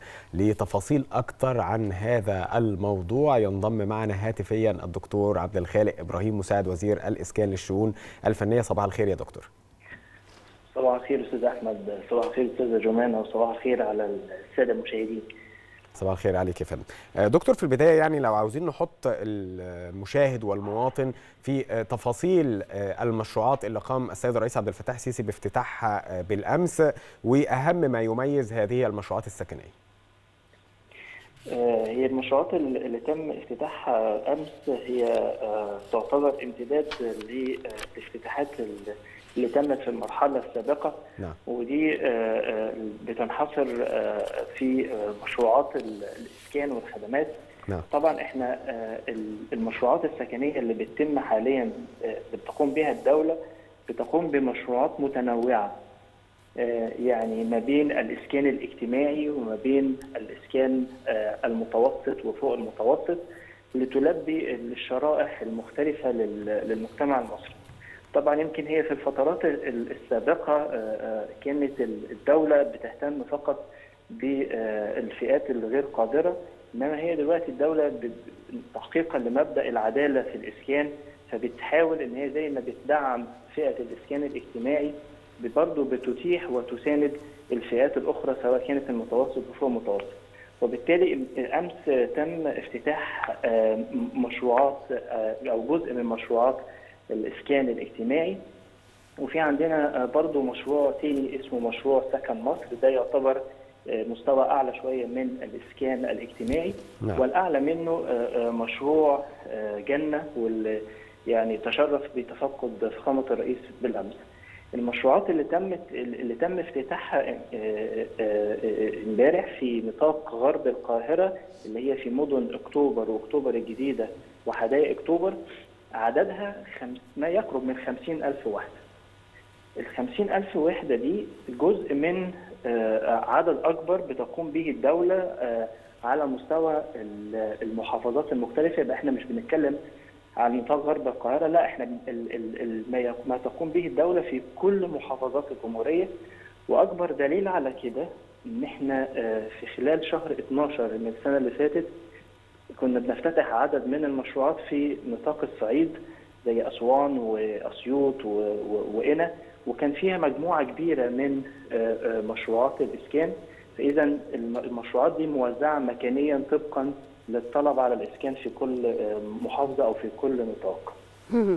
طيب يعني دكتور عبد الخالق حضرتك تحدثت عن مشروع سكن مصر آه، مشروع سكن مصر زي ما حضرتك قلت هو تقريبا اسكان آه، متوسط في الأعلى منه كمان لكن لو هنتكلم عن مشروع سكن مصر تحديدا 177 عمارة آه، في هذا المشروع. لو تقول لنا يا فندم عدد الأسر اللي استفادت منه وتكلمنا أكتر عن تفاصيل استفاده المواطنين من هذا المشروع. يعني كلمنا أكتر تفصيليا عن مشروع سكن مصر يا فندم. طيب طبعا هو آه، زي ما بقول لحضرتك هو سكن مصر يعتبر آه، مبادرة آه، تعتبر لل- للإسكان المتوسط والإسكان المتوسط إحنا مش بس بنتكلم على سكن مصر إحنا بنتكلم على في مشروع دار مصر أيضا وفي مشروع زي ما بقول لحضرتك جنة ده اللي هو يعتبر متوسط أو فوق متوسط لو. سؤال حضرتك تحديدا عن مشروع اللي هو 177 عمارة اللي موجود في آه، أكتوبر الجديدة. ده بيخدم ما يقرب من 4300 أسرة. مهم.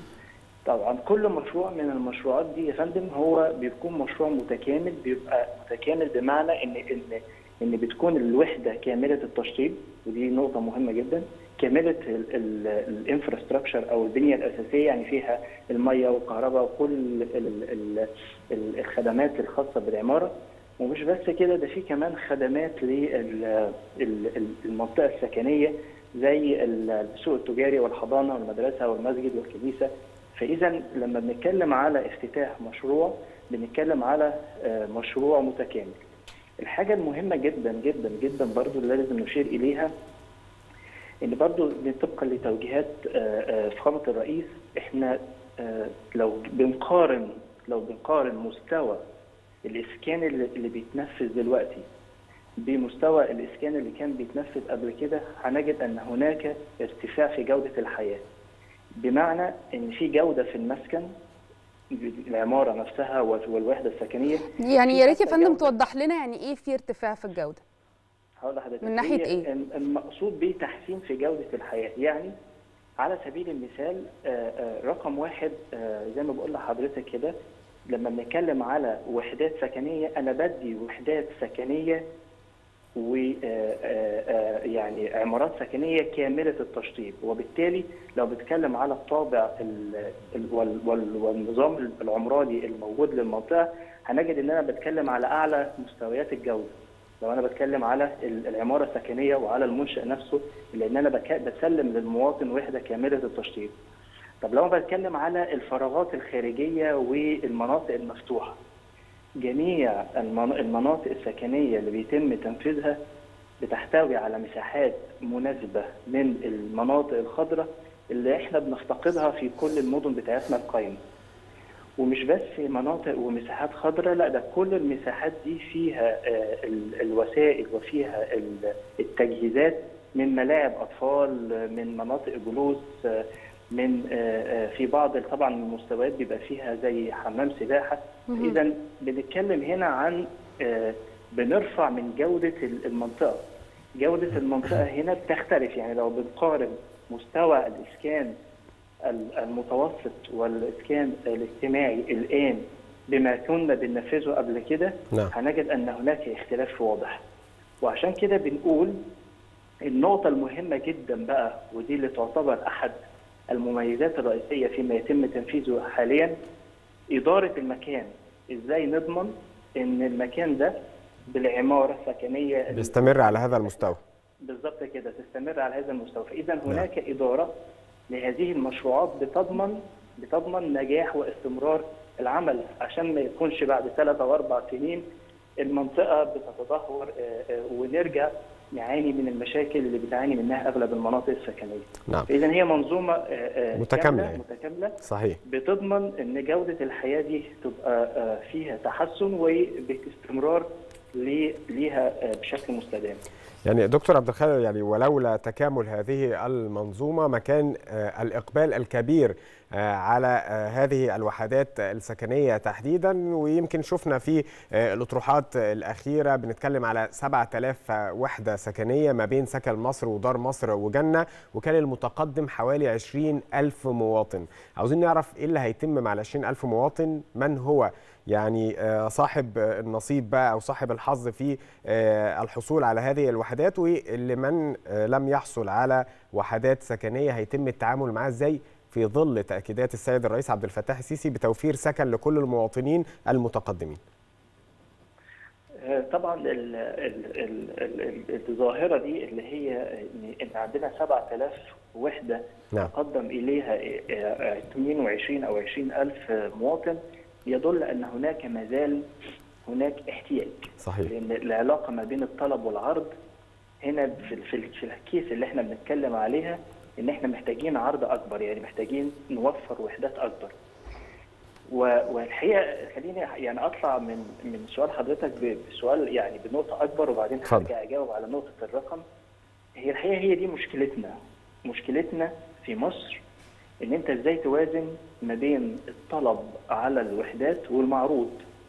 يعني آه، إحنا آه، آه، ظاهرة العشوائيات اللي بتظهر في المدن القايمة ظهرت ليه؟ لأن هناك طلب على ال- الوحدات ومفيش عرض يتناسب مع قدرته. نعم. ومفيش عرض يتناسب مع قدرته. وبالتالي المبادرات الأخيرة ال- ال- الدولة أطلقتها ومنها مبادرة البنك المركزي لتمويل الوحدات السكنية بفايدة بتتراوح من 3 ل 8% ساعدت السكان يكون عنده مسكن مناسب مرخص في بيئة جيدة مدعم. وبالتالي هنا بنقدر نقول إن مثل هذه الحلول بتقضي تماما إن شاء الله على ظهور ظاهرة العشوائيات مرة ثانية لأن أنت وفرت سكن مناسب أفضل بكثير من السكن اللي بيتم بال- بالطريقة الغير مرخصة وفي نفس الوقت بأسعار وتسهيلات آه، مناسبة. طيب لما نرجع بقى لسؤال حضرتك اللي هو طب أنا عندي 7000 اتقدموا عليهم 22000 فالباقي ده هيحصل إيه؟ بيبقى ليه أولوية إن هو بيخش في المشروعات لأن إحنا حاليا إحنا آه إحنا انتهينا من من من مشروع مثلا جنه أو من مشروع سكن مصر في منطقة أكتوبر وأكتوبر الجديدة. ولكن بيكون عندنا الكشوف ال- ال- المتقدمين اللي هم لم يعني يكون لهم الحظ في آه، الحصول على وحدة. هناك مشروع دلوقتي حاليا بيتم وإن شاء الله في جزء منه بيخلص في شهر أربعة في جزء بيخلص في شهر ستة إلى نهاية السنة تحت مسمى البرنامج الرئاسي سكن كل المصريين. وسكن كل المصريين ده فيه الشرائح المختلفة هيبقى فيه برضه زي نموذج سكن مصر وزي نموذج دار مصر وخلافه. فبالتالي كل ودي كانت توجيهات يعني فخامة الرئيس أمس إن هو كل اللي بيتقدم لازم يحصل على وحدة علشان ما يكونش عندنا في فرصة بعد كده لظهور المناطق العشوائية في المدن القائمة مهم. بس يعني يا دكتور دي نقطة مهمة جدا الحقيقة. يعني فكرة إنه كل من يتقدم آه لامتلاك شقة يجب توفيرها ليه. إزاي ده ممكن نقدر نحققه؟ يعني ماذا لو مثلا ال- المساحة المخصصة لبناء هذا التجمع السكني خلصت وفي مواطن هو عايز يشتري على سبيل المثال في منطقة أكتوبر أو الشيخ زايد أو ما إلى ذلك. إزاي نقدر نوفر ده فعلا؟ طيب إحنا بنوفر ده عن طريق محورين. المحور الأول إحنا بنبني وحدات سكنية داخل المدن القايمة. طب داخل المدن القايمة فين؟ إحنا في عندنا المدن ال- ال- ال- اللي هي عواصم المحافظات. الدولة حصرت الأراضي الاملاك دولة. اللي هي أملاك دولة وغير مستغلة. وبدأت تنفذ فيها مشروعات سكنية.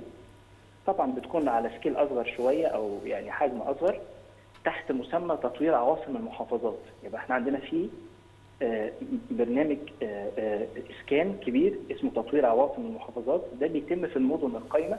وتقريبا البرنامج ده بيضم ما يقرب من 500 ألف وحده نعم.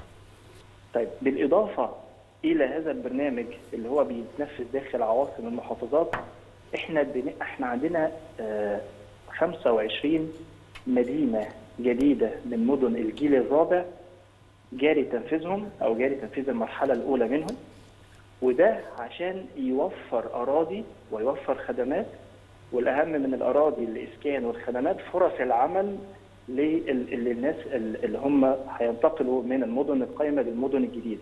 فعلى سبيل المثال خلينا نتكلم على مثال افتتاحات أمس. إحنا في عندنا ثلاث مدن بنتكلم عليهم. أكتوبر أكتوبر دي من المدن اللي تعتبر جديدة بس في الأجيال السابقة لأن هي نشأتها كانت في الثمانينات. نعم. إنما في عندنا مدينتين تانيين تعتبر مدن جيل رابع جداد حدائق أكتوبر وامتداداتها وأكتوبر الجديدة. المساحات اللي موجودة في هذه المدن بتكفي كل مدينة من المدن دي عدد سكانها المستقبلي بيتراوح ما بين واحد ونص لاثنين ونص مليون نسمه نعم كمدينة جديدة.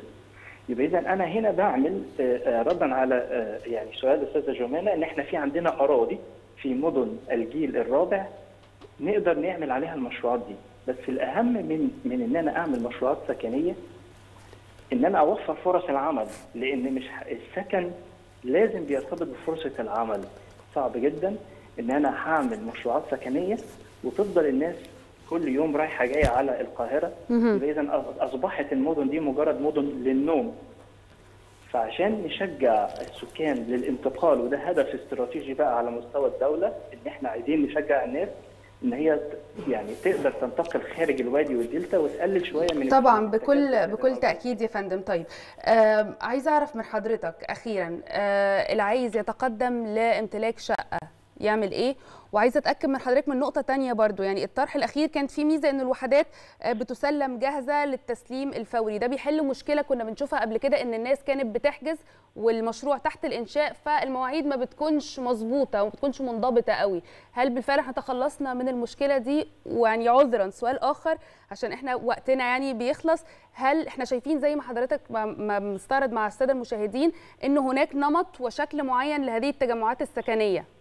هل ممكن أي آه، مالك لوحدة من الوحدات إنه يغير أي شكل من الواجهات أو ما إلى ذلك طيب هجاوب على السؤال أسئلة حضرتك سريعا من ال... يعني بالعكس بال- بالترتيب من ال- الآخر يعني للاول. السؤال بتاع تغيير ال...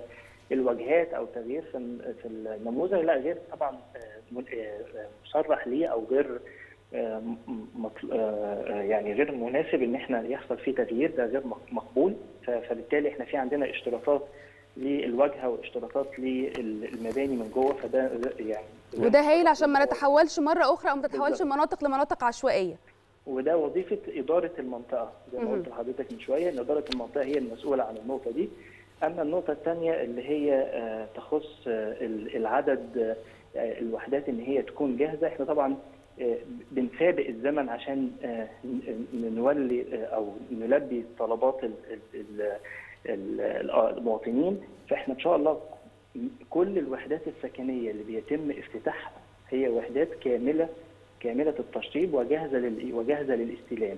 طبعا نتيجة إن برنامج الإسكان الاجتماعي تحديدا في عدد كبير من الوحدات فعشان كده في بعض ال- ال- التأخيرات حصلت في الفترات السابقة بس إحنا بنحاول في الفترة الحالية إن إن إن اللي بيتقدم للوحدة بيقدر يحصل عليها مباشرة خاصة في مناطق ال- اللي فيها طلب عالي. وبنقلل من فترات الانتظار لأن في كل الأحوال لازم هيكون في بعض المشروعات فيها طلب يعني آه، آه، آه، قوائم انتظار. لأن دي في أي مكان في العالم يعني لو حضرتك بتحجزي شقة في أي مكان في أي مستثمر أو في أي كومباوند أو أي.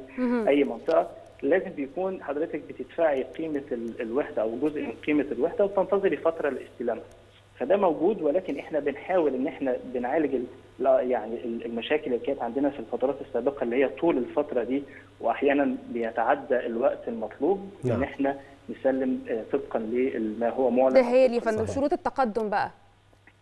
شروط التقدم هي بتختلف طبعا من مستوى لمستوى إسكان تاني وإحنا في عندنا مجموعة من الكراسات والشروط بتنزل لكل مستوى إسكان طبعا الاجتماعي غير السكن مصر غير دار مصر غير الجنة. فالشروط دي بتبقى مكتوبة في عندنا يعني زي كراسة بيتم توزيعها على المواطن. وبيبقى مكتوب فيها آه، إيه هي شروطه اللي الشروط الخاصة بالمواطن نفسه وآلية التقدم. يعني إزاي يتقدم والنسبة اللي بيدفعها النسبة المقدمة وطريقة التقسيط. كل ده بيبقى موجود في كراسة لكل الفئات السكنية نعم والكراسات دي بتكون متاحة من خلال بنك الإسكان والتعمير لكل طالبين الحصول على هذه الوحدات. دكتور عبد الخالق إبراهيم مساعد وزير الإسكان للشؤون الفنية. بنشكر حضرتك فندم على وجودك معنا في صباح الخير يا مصر. فاصل سريع ونرجع لحضراتكم مرة تانية عشان نكمل باقي فقرات صباح الخير يا مصر.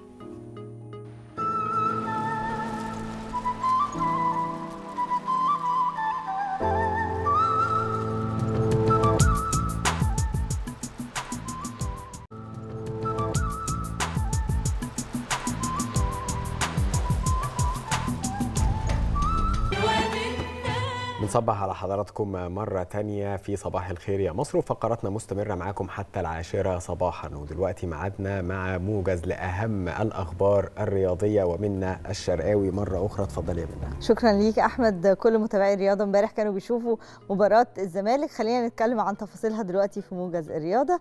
أهلا بكل حضراتكم. خليكم معانا ونتابع مع بعض موجز لأهم الأخبار الرياضية المحلية والعالمية. اليوم انطلقت ركلة البداية.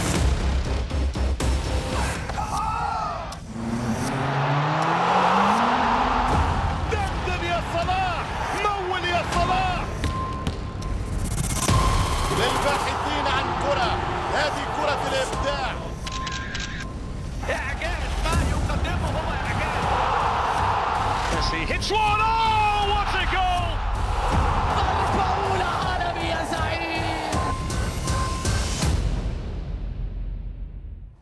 أهلا بيكم من جديد. فريق الزمالك حقق الفوز امبارح على فريق فيوتشر بنتيجة 3-2 في المباراة اللي جمعتهم على استاد القاهرة الدولي ضمن منافسات الجولة العاشرة من بطولة الدوري الممتاز. بكده الزمالك بيقتنص ثلاث نقاط في مشواره في الدوري العام.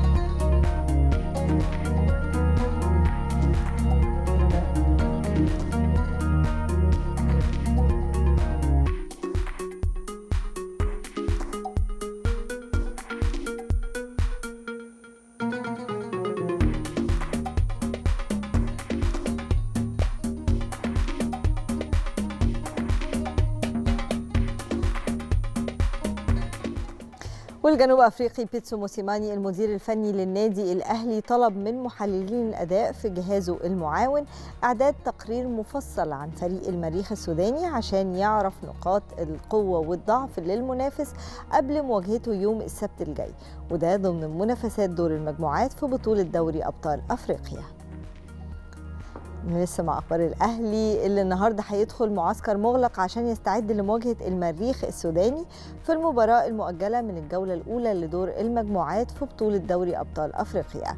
وهيستأنف الفريق تدريباته الجماعية على ملعب مختار التتش بعد الراحة اللي حصلت عليها اللعيبة امبارح بعد مباراة فاركو في الجولة ال11 من الدوري.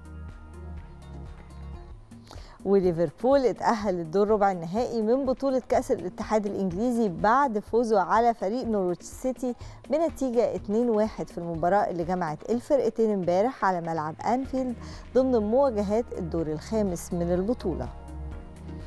وفريق تشيلسي حقق فوز صعب على حساب فريق لوتن تاون بنتيجة 3-2 في المباراة اللي اتلعبت امبارح ضمن منافسات الدور الخامس من بطولة كأس الاتحاد الإنجليزي. بالنتيجة دي بيتأهل تشيلسي للدور ربع النهائي من بطولة كأس الاتحاد الإنجليزي بعد ما قدر يحقق الفوز على لوتن تاون. وكمان فريق فالنسيا اتأهل للمباراة النهائية في بطولة كأس ملك إسبانيا للموسم الحالي بعد ما فاز على فريق أتلتيك بلباو بنتيجة 1-0 في لقاء العودة من الدور نصف النهائي اللي جمعهم امبارح على ملعب مستايا. أخبارنا الرياضية خلصت لكن لسه فقراتنا مستمرة. نرجع تاني لأحمد والجمانة نكمل باقي فقراتنا. اتفضل يا أحمد اتفضل جمانة شكرا ليك يا منى. طيب خلينا نروح ناخد حضراتكم لموضوع آخر ومجلس الوزراء أصدر رسميا اللائحة التنفيذية لقانون تنظيم وإدارة المخلفات. هذه اللائحة هي اللي بتنظم عمليات الجمع والرسوم اللي هيتم تحصيلها بشكل تدريجي على فواتير الكهرباء. خلينا نعرف تفاصيل أكتر من دكتور حمدي عرفة خبير التنمية المحلية. صباح الخير على حضرتك يا فندم واهلا بيك في صباح الخير يا مصر. صباح الخير على حضراتكم في الاستوديو وعلى الشعب المصري الجميل في 27 محافظه. صباح الخير يا فندم. أهلا بيك يا فندم. طيب لو تطلعنا يا فندم على أهم بنود اللائحة التنفيذية لقانون تنظيم وإدارة المخلفات وتشرح لنا وتشرح للسادة المشاهدين بالظبط إيه القيمة اللي هيتم إضافتها على فاتورة الكهرباء. يعني خلينا نعرف تفصيليا من حضرتك يا فندم كل المعلومات. في البداية بسم الله الرحمن الرحيم. هي طبعا اللائحة التنفيذية الصادره عن مجلس الوزراء الخاصة بقانون تنظيم المخلفات رقم 202 لعام 2020 نعم. أنا بأكد لحضرتك بعد الاطلاع على العديد من القوانين خاصة إن إحنا عندنا 3185 قانون ولائحة وقرار الخاصين بالإدارة المحلية يعد هذا القانون من أفضل القوانين في تاريخ مصر. طلعت قوانين كتير جدا قانون المخالفات على البناء وقانون البناء الموحد وقانون الباعة الجديدين. هذا القانون هو فريد من نوعه فعلا وبيحمي منظر الحضاري لمصر بيحافظ على صحة المواطنين وبيعمل موازنة بين الوزارات المشاركة في هذا الملف. اسمحي لي بس يعني أقول لحضرتك قبل الاجابة على هذا السؤال بعجاله سريعه إحنا عندنا في طبقا للتقرير الصادر من نقابه المهندسين عندنا 50 مليون طن مخلفات 27 محافظة. نعم. منهم 44% مخلفات بناء وهدم لم يتم الاستفاده بيهم نهائيا الحرب العالمية الثانية من أثناء الحرب العالمية الثانية بعد انتهائها الدول الكبرى أعادت بناء الدول بتاعتهم من خلال مخالفات البناء فتنبه السيد الرئيس عبد الفتاح السيسي ولاول مرة في تاريخ مصر نزل قرارات خاصة بالهدم والبناء في المحافظات لأن إحنا عندنا في طفرة في الإسكان لم تحدث في تاريخ مصر عندنا 52 مدينة جديده نعم. عندنا المواطن المصري بس أنا أتحدث هنا عن مخالفات الغذاء آه، كيلو و100 جرام متوسط عام في اليوم غير المخالفات الزراعية غير المخالفات الصح- آه، الصحية آه، إلى اخره فانا ارجع آه، فطبعا ده ده كنز الكنز ده بتستفيد منه دول الصين بت- بتاخد القمامة من الدول العربية والدول الناميه ودول الشرق الأوسط وتعود تصديرها مرة أخرى. نعم إعادة التدوير يعني. بالظبط يا فندم. أنا ارجع لسؤال حضرتك ال- الرسوم الجديدة اللي هي خاصة بالقانون الجديد هي فسرته المادة 26 نعم. بتقول إن ال- آه، الشقق السكنية إحنا عندنا تقريبا 21 مليون وحده سكنية موزعين في 27 محافظه آه، من 2 جنيه ل 40 جنيه على حسب المنطقة. بالنسبة للمحال التجارية من 30 جنيه ل 100 جنيه. الجديد الجديد بقى إن المنشآت الحكومية أي وزارة حكومية أو هيئة حكومية هتدفع 50000 سنويا آه، تحصل لصالح ال- آه، هيئة المخالفات التابعه لوزاره البيئة نعم. وكمان المراكز التجارية والمولات هتدفع 20000 مهم. بالنسبة للمواطنين زي ما إحنا قلنا من 2 جنيه ل 40 جنيه على حسب المنطقة وأعتقد طالما إن هي آه، هتنزل آه، بصورة رسمية أعتقد إن في حد هيعدي ان وزارة البيئة تكون أعلنت إن في حد هيعدي على المواطنين ياخد ال- القمامة اللي إحنا بنقول عليها كنز ويتم فردها إن شاء الله خلال الأيام القادمه. نعم. كمان أنا عايز اكد إن اتفضل يا دكتور آه، آه، إن نزل في مصر لأول مرة يعني خلينا أقول من 7000 سنة آه، كسرات خاصة بمخلفات البناء لأن إحنا عندنا 30% من الخشب يتم الاستفاده منهم بعد مخلفات البناء وعندنا 10% مواد عادلة وأسفلت نعم. 50% خرسانه بتتم يعني دكتور حمدي يعني آه، إحنا بنتكلم هنا عن آه، قانون القانون ده اللائحة التنفيذية بتاعته أثناء تطبيقها في ال 27 محافظة آه، زي ما حضرتك ذكرت أكيد هيكون ليها مزايا كبيرة جدا أنا أعتقد من وجهة نظري الشخصية ما ينفعش اللي إحنا يعني إيه آه، نوجز هذه المزايا عبر مكالمة هاتفية. عشان كده بدعو حضرتك إن شاء الله إن حضرتك تكون معانا ضيف في صباح الخير يا مصر لمعرفة المزيد عن هذه اللائحة التنفيذية لقانون تنظيم وإدارة المخلفات. دكتور حمدي عرفة خبير التنمية المحلية بنشكرك على وجودك معنا في صباح الخير يا مصر. دلوقتي مشاهدينا التاسعة صباحا موجز لأهم الأخبار ومنا الشرقاوي اتفضلي يا شكرا لك أحمد التاسعة صباحا بتوقيت القاهرة السابعة بتوقيت جرينتش موجز الأخبار من التلفزيون المصري. أهلا بكم.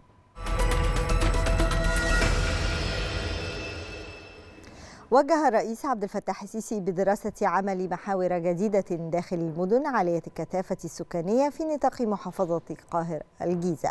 جاء ذلك خلال افتتاحه عددا من المشروعات القومية في قطاعي الإسكان والطرق بمدينة السادس من أكتوبر حيث أشار الرئيس السيسي إلى أن تنفيذ بعض الطرق والمحاور داخل المدن يستلزم تنفيذ بعض الإزالات السكنية مشددا على أن آية إزالات تتم للصالح العام يتم تعويض أصحابها. وأكد الرئيس السيسي أن اهتمام الدولة بالطرق خلال السنوات الأخيرة. جاء لتيسير حركة المواطنين والتجارة مشددا على أن المشروع القومي للطرق تم إنجاز نسبة كبيرة منه في جميع أنحاء الجمهورية بمعدلات غير مسبوقة عكس ما يتردد حول الاهتمام بمحيط القاهرة فقط. وإلى الأزمة الأوكرانية حيث قال مكتب الأمم المتحدة لحقوق الإنسان إنه تأكد من مقتل 227 مدنيا وإصابة 525 آخرين في أوكرانيا حتى الآن. وفي بيان له أوضح المكتب أن معظم الضحايا سقطوا نتيجة استخدام أسلحة متفجرة بما يشمل القصف المدفعي الثقيل وأنظمة الصواريخ متعددة القذائف والضربات الجوية. وأضاف أنه يعتقد أن الحصيلة الحقيقية أكبر بكثير خاصة في الأيام الماضية في المناطق التي تسيطر عليها الحكومة بسبب تأخر الإبلاغ عن أعداد الضحايا في بعض المناطق التي دار فيها قتال. عنيف. قال الرئيس الأمريكي جو بايدن إن تصويت الجمعية العامة للأمم المتحدة لصالح إدانة روسيا بسبب هجومها على أوكرانيا يوضح مدى الغضب العالمي من عدوان روسيا المروع على دولة مجاورة ذات سيادة ويظهر اتحادا عالميا غير مسبوق.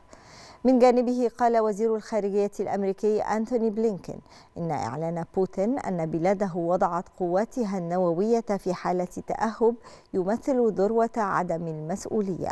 وأضاف بلينكين خلال مؤتمر صحفي أن مثل هذا الخطاب يزيد من مخاطر سوء التقدير ويجب تجنبه.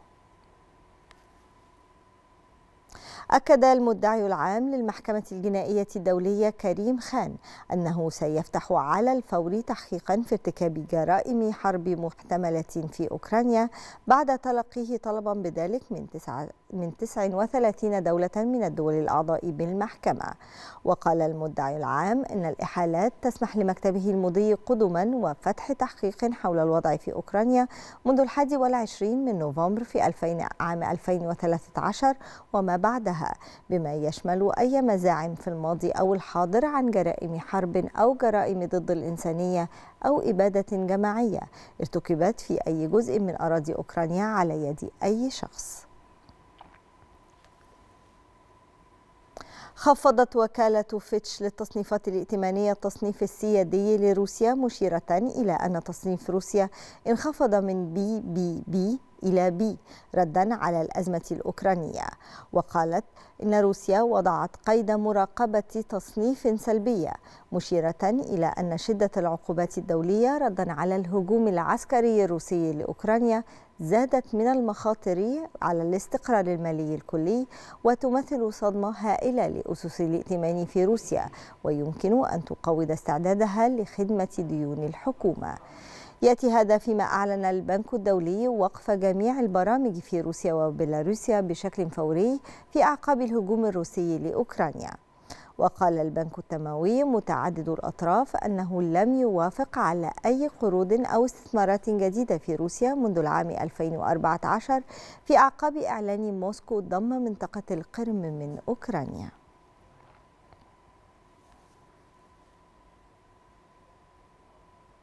ورياضيا حقق فريق الزمالك فوزا مثيرا على نظيره فيوتشر بثلاثة أهداف مقابل هدفين في المباراة التي جمعت بينهما على استاد القاهرة الدولي ضمن منافسة الجولة العاشرة لبطولة الدوري الممتاز.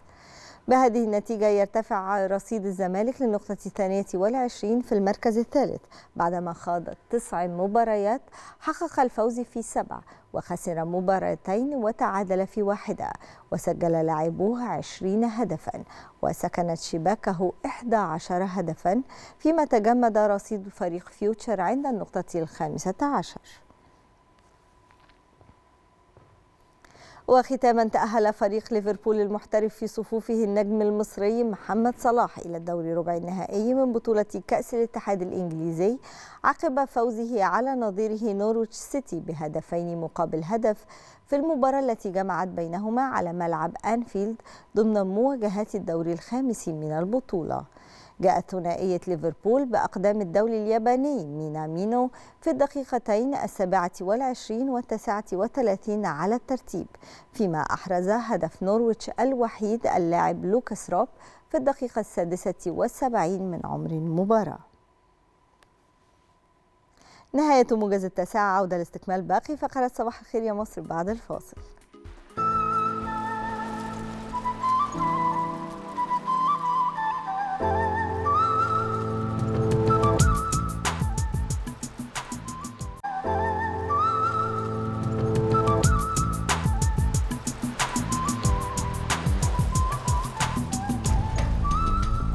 برحب بيكم مرة تانية في صباح الخير يا مصر وآخر فقراتنا دايما بتكون الموسيقى هي لغة اللغة دي بتوحد الشعوب والغنى أداة في التعبير عن الذات. لكن لما تحترف الغنى بخمس لغات فإحنا أكيد هنا أمام موهبة وفنانة استثنائية مؤمنة إيمان شديد برسالتها الفنية وهي إن السلام والمصالحة هي لغة الشعوب اللي لازم يكون العالم كله بينعم بيها. فنانتنا النهاردة هي فنانة مؤمنة أيضا بالتنوع الثقافي. ضيفتنا النهارده مش بس سوبرانو لأنها بتغني وبتنشد بأكتر من لون واشتهرت في مصر بالترنيمة مع الأذان اللي دخلت بيها قلوب كل المصريين وهي ترنيمة مريم. ضيفتنا اللي منورانا في الاستوديو هي الفنانة والمطربة تانيا أسيس. صباح الخير يا تانيا صباح النور. يعني تانيا بتغني بخمس لغات تقريبا. أكتر شوي أكتر كمان. طيب اختيارك للغات دي أعتقد عشان توصلي الكلمات الخاصة بالأغاني بتاعتك. لكن أكيد في لغة من اللغات دي هي اللغة الأهم والأقرب لقلبك. إيه هي بقى؟ أكيد اللغة العربية بس ما كان ما كان هذا الوضع بالأول. يعني أنا وقت بلشت لأنه اتجهت أكثر على الكلاسيك وعلى المودرن. كنت غني أكثر فرنسي وإنجليزي. أه بس بحس اللغة العربية بتاعت أنا بحب بحس فيها أكثر يعني بحس بالإحساس أكثر وقت أكون عم بقدم الأغاني. مشان هيك بحب أكثر إني أكون عم بقدم أغاني بالعربي. تانيا أنت مش مجرد مغنية أو مطربة أنت حالة فنية. لا دي حقيقة فعلا. يعني يعني أحيانا بنشوف فنان مثلا إن كان مغني أو ممثل فهو بيبقى معني أكتر إن هو إن هو صوته حلو فبيغني فقط. أو موهبته في التمثيل كبيرة فبيمثل فقط. لكن انت حالة فنية عندك أكاديمية آه، وقفتي على أهم المسارح في العالم يعني إن كان مسرح أولمبيا في باريس كمان آه، دار الأوبرا في سيدني في أستراليا مقر الأمم المتحدة في جنيف حاجات كتير جدا. حتى في مصر كنت موجودة في حدث من أهم من أهم الفعاليات اللي كانت هنا في مصر. عايزة أعرف منك يا تانيا انت إزاي قدرتي تنمي موهبة الغناء عندك ما توقفتيش وما اكتفيتيش فقط بأن انت صوتك حلو شكلك حلو. آه، حبيتي توصلي بأكتر من لغة للعالم كله وقفتي على أهم المسارح في العالم. كلميني عنك من البداية خلينا نعرف السادة المشاهدين عن تانيا السيس من البداية لحد اللي وصلت له. شكرا. آه، يعني أنا بحس الموسيقى هي هي رسالة أكيد. يعني وقتها وقتها الفنان يقدر يستعمل صوته تي يوصل أفكار أو أحاسيس آه، بتصير الموسيقى أكثر من مجرد موسيقى أو مجرد entertainment مثل ما فيه يكون. تسلية يعني. آه ليه؟ لأنه هي هي صير تواصل مع ال مع ال مع الناس آه مع الشعوب مع الثقافات. ووقتها بغني أنا بعدة لغات ما بغني باللغات إنه بغني لو بكون آه، رايحة على بلد معين وحابة إنه آه، أقدم لهالبلد الإحساس آه، اللي اللي عبالي مرق لهم إياه باللغة اللي هن رح يفهموها أكثر شيء. وبحب دائما أعمل تريبيوت يعني مثلا وقت رحت على الأرجنتين غنيت بالإسباني ورقصت تانجو على المسرح يعني أنا شخص كثير بحب أكتشف الثقافات وأنا. بحب السفر كثير بحب الثقافات بحب الناس بحب التنوع وهذا شيء بحمله بتختلطي بيها مش إن انت. بتؤديها فقط يعني بت... آه، صحيح. بتعيشيها أكتر هلأ كمان لأنه أنا مسيرتي بلشت بال class بال classical. فاذا بدك الموسيقى بلشتها بطريقة كتير أكاديمية آه فهيدا بدأتي عطاني أوبرا، صح؟ صح بدأت أوبرا الأوبرا. لأنه أنا بلشت بعمر صغير كنت مفتكرة إنه الأوبرا هو مثل كيف وقتها بتدرس الطب بتتخصص بعدين تخصص. فأنا لإلي الأوبرا كان دخول على الموسيقى وبعدين أنا بفوت بال style اللي, اللي. عبالي فوت فيه آه اكتشفت مع الوقت إنه الأوبرا كان شوي محدد لإلي يعني حسيته كتير serious أنا شخص بحب مثل بحب أرقص بحب بحب يعني الحياة. قريب بحب الحياة. فمشان هيك من الأوبرا نقلت على ال musicals أول شيء يعني المسرحيات الغنائية ال- الأمريكانية برودواي وهول ال- ال- ال- الأجواء. لحديت بعدين بلشت بال- بالغنى الع... بالأغاني العربية. أنا ماني عاملة شرقي يعني ما ما بعتبر حالي مطربة بس خلقت style لإلي هو دمج بين الغرب والشرق وهذا شيء بحبه كثير لأنه بيشبهني كثير. طب إيه رأيك يعني نصبح كده على المشاهدين بصوتك بقى نسمع حاجة؟ أنا ليه عندي request عندي طلب. آه. ترنيمة مريم ممكن نبدأ بيها؟ آه فينا. هلا بدون المولاي يعني أو الاذان شوي آه. بس آه إيه فينا. تنشوفوا الصبح كيف. آه، Ave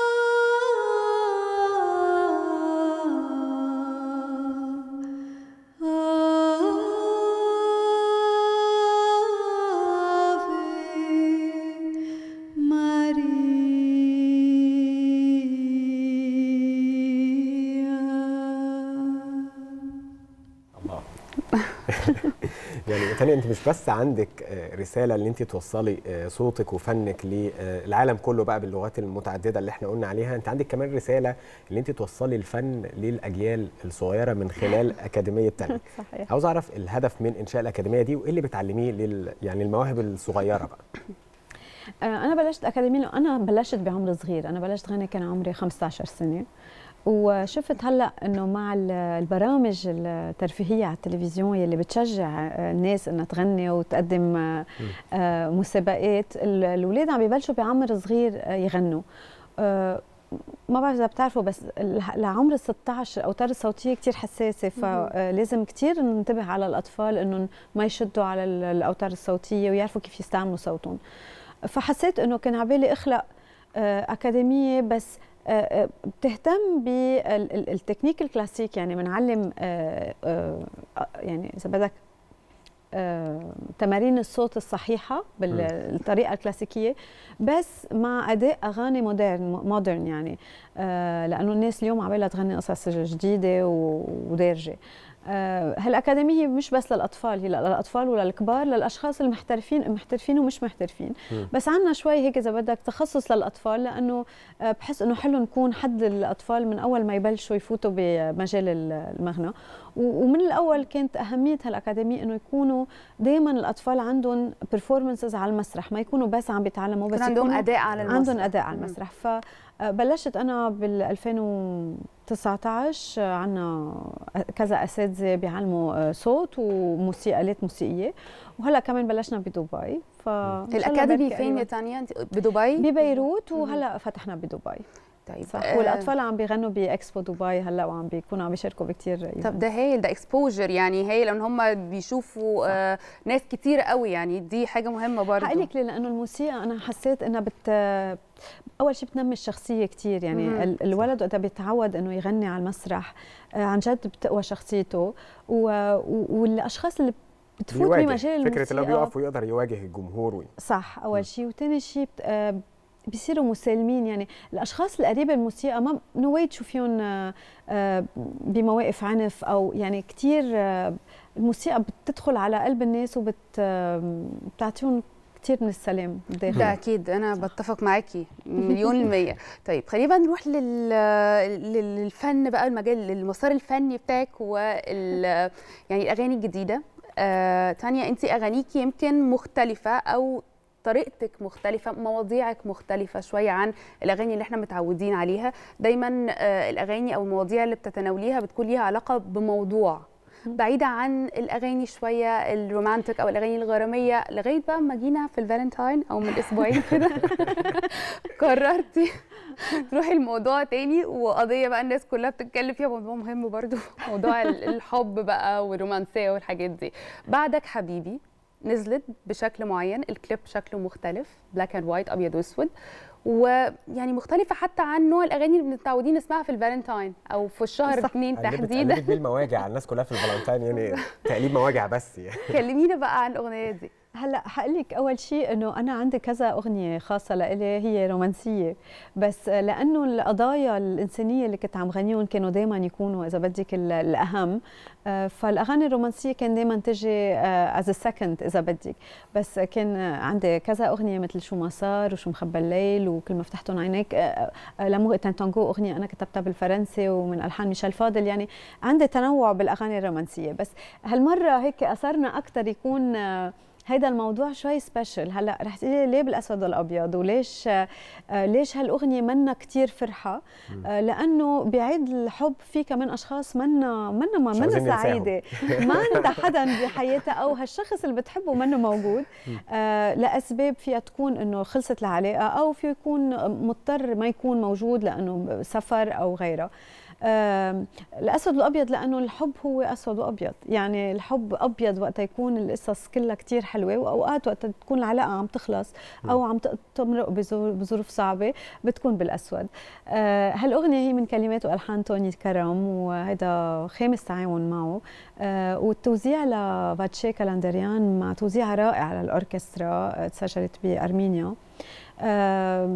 هذا نوع الأغاني والشغل اللي أنا بحب أشتغل عليه كثير يعني آه، بحب إنه الموسيقى تكون عم عن جد عم بت توصل الكلام. آه، بإحساسه. و وصورته. كنت عاملة كورونا. وما كنت عارفة. أنا كنت كتير كتير ساخنة بهيدا النهار. آه، وكان بلش ال symptoms يبينوا علي. و وكتر خير الله ما حدا عدا بال crew.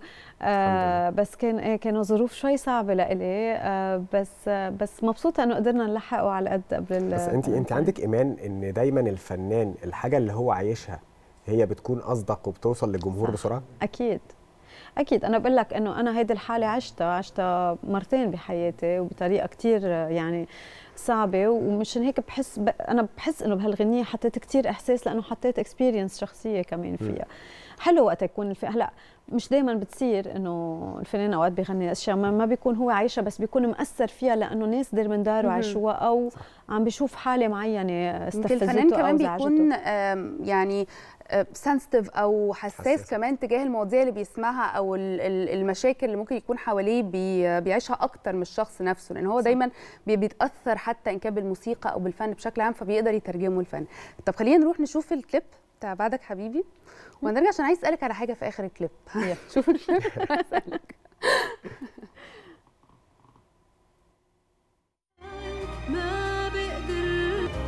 بقدر اتفضلي. اسالها اسالها أسألها على آخر كليب دي قاعدة نتناقش فيها أنا وإنتي واحمد في عربية بتمشي في الآخر ده معناه إيه؟ هو يعني هو جه ولا رجع ماشي ولا ما رجعش؟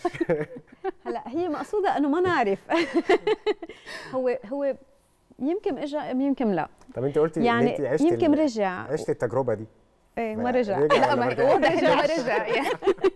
مش محتاجة. ما رجعش بس اللي رجع اجى اجى حب جديد واجى حب كتير حلو وكتير آه، آه، كتي- كتير آم، شو بيقولوا؟ أصدق. أصدق إيه. يعني مش هيك كنت عم بقول إنه أوقات العلاقة بتخلص ونحن أنت بتعرفي يعني وقت تخلص العلاقة بنبكي وبناكل كتير وبنزعل كتير. بس بس بالآخر آه، بيجي بيجي شيء أحلى. اجمالا. أغ- أغلب. الأوقات. صح؟ أكيد. ما هو أصل لو جه أوحش يبقى مشكلة عندنا. مش في حتة ثانية حاجة أنتم بتفهموها أكتر بقى بصراحة يعني. أنا شهادتي مجروحة فيها يعني. أنتوا أنتوا بتعذبوا. إحنا دايما إحنا دايما اللي وحشين يعني. طيب تانية آه، يعني آه، أكيد الأغنية وصلت الرسالة بتاعتها وإن فكرة إن الحياة ما بتقفش. يعني أكيد. زي ما قلتي فعلا لو حاجة يعني- فيه وحشة حصلت اللي جاي بيبقى. أفضل آه،. وأفضل. لكن عاوزين نرجع بقى لبدايتك. أكيد كان في صوت هو مثلك الأعلى وكنت دايما بتحبي اللي انت تقلديه وتشتغلي على نفسك عشان توصلي حتى لطبقة الصوت فيه. مين مسك الأعلى؟ سواء كان في الوطن العربي أو بلبنان. آه، بلبنان وبالوطن العربي هي الست ماجدة الرومي. يعني كانت لإلي أكيد آه، فنانة كنت كتير أقدرها أول شيء لل لفنها للمواضيع اللي كانت تتناولهم ولأناقتها يعني فنانة بحبها كتير وكانت آه، يعني كتير آه، كنت كتير مأثرة فيها وقت بلشت غني و- وإذا بدك بالعالم كعالم في سوبرانو اسمها سارة برايتمان آه، بمجال شوي الأوبرا وال musicals كمان مهم. كتير تأثرت فيها. فإذا بدك شوي آه، بأول بداياتك تقدموا شوي بين هال- هالنوعين كتير فكمان أثروا فيه كتير. طيب تانيا دايما بنقول إن الشعب اللبناني شعب محب للحياة. تحت أي ظرف بيغني تحت أي ظرف بيكون دايما متفائل وعنده آه، روح كده إنه دايما اللي جاي أحسن. في أغنية أنا بالنسبة لي أغنية مهمة جدا آه، بتعبر فعلا عن لبنان في وقت من الأوقات وقت من الأوقات الصعبة كمان أغنية زمن. الأغنية دي انت حتى لما صورتيها ما كانش فيديو كليب عادي كان زي short movie أو فيلم قصير. قدرتي تسجلي فيه وقت يمكن وقت طفولتك وقت ما كبرتي شوية وقت ما بقى عندك ولد وهو شايفك. وانت بتتفرجي. خلينا نتكلم عن آه، الأغنية دي وبعدين هنشوف مع السادة المشاهدين الكليب بتاعها عشان يفهموا إحنا بنتكلم على إيه تحديدا. كلميني عن أغنية زمن. زمن مثل ما قلت كان يعني عملناها بأصعب ظرو- ظروف أو أصعب وقت عم يمرق فيه لبنان. آه، يلي كان سنة اللي فاتت أنا شخص كتير معلق بلبنان وكتير بحب لبنان وبحب وين ما سافر بالعالم إني آه، وصل كنت سفيرة صورة لبنان إنه بطريقة ما من خلال آه. الموسيقى يعني بحب إنه أوصل آه، صورة لبنان الحقيقية آه، طيبة الشعب جمال البلد آه، كل هول الأشياء اللي عن جد نحن بيخلونا نحس إنه نحن محظوظين نكون بهذا البلد وبعرف إنه كل اللي بيجوا من برات لبنان تيزوروا لبنان ما ما بيستنظروا هالقد يتعلقوا بلبنان صحيح. بالظروف الصعبة وقف الكلام بش- بطريقة معينة. يعني ما عدنا نعرف شو بدنا نقول وشو بدنا نغني للبنان. وحسيت إنه بركي أحسن ما نغني للبنان لأنه ما كان الوقت بركي مناسب. بس وقت تعرفت على توني كرم وسمعت هيدي الأغنية كمان من كلماته وألحانه حسيت إنه قال كل شيء قال كل شيء عم نحسه. يعني قديش تأثرنا وقديش تعذبنا وقديش من وقتها ما خلقنا عم نعيش. آه، صعوبات. وهالاجيال عم عم تجي وعم بتنعاد نفس القصة؟ وأنا اليوم إذا لو تجوزت وعندي ولد كان حيعيش اللي أنا عشته وقت خلقت. وبنفس الوقت خلصت الغنية بكمان آه، تفاؤل وب آه، بإيمان كبير إنه القصص رح تتغير وحنبني صحيح. هالوطن و- والتغيير جاي. آم، فكمان الكليب من إخراج توني كرم وكنا عم نحكي تحت الهواء إنه أنا بحب وقت يكون الكليب عم بيخبر قصة لأنه بحس إنه الفنان منو بس استعراضي يعني كمان. حلو يكون عم بي عم بيعيش الدور أو عم بيوصل ال- القصة. فتصورت على هيك طريقة شوية شوية أنت بتحبي المدرسة دي فكرة إن أنت توثقي ال- الأحداث في الكليب أو في الأغنية بتاعتك؟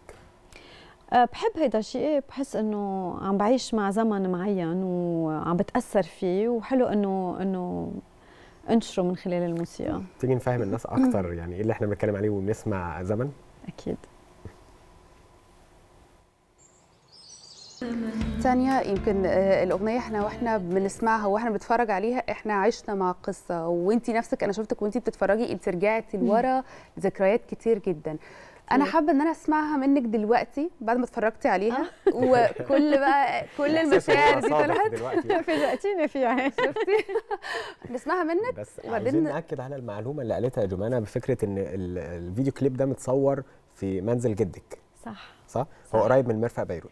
قريب وكان بعد الانفجار فبتشوف آه، كل ال يعني انت عشتي الأحداث. بس يعني تأثرتي كمان بيها يعني إيه أنا كنت ببيروت. وقت الانفجار مش بهيدا البيت لأن هيدا البيت كنا already تركنا البيت بس آه، بس حتى بيتي تأذى كثير و... ولحديت هلا بعد هيدا ال trauma بعده فينا يعني كان كان كان شيء كثير بشع كثير. كثير ناخد طلب جمانة بقى يلا أغنية زمن أنا من زمن كانت الأيام بلا غد حدود المناطق خطوط بالأسود.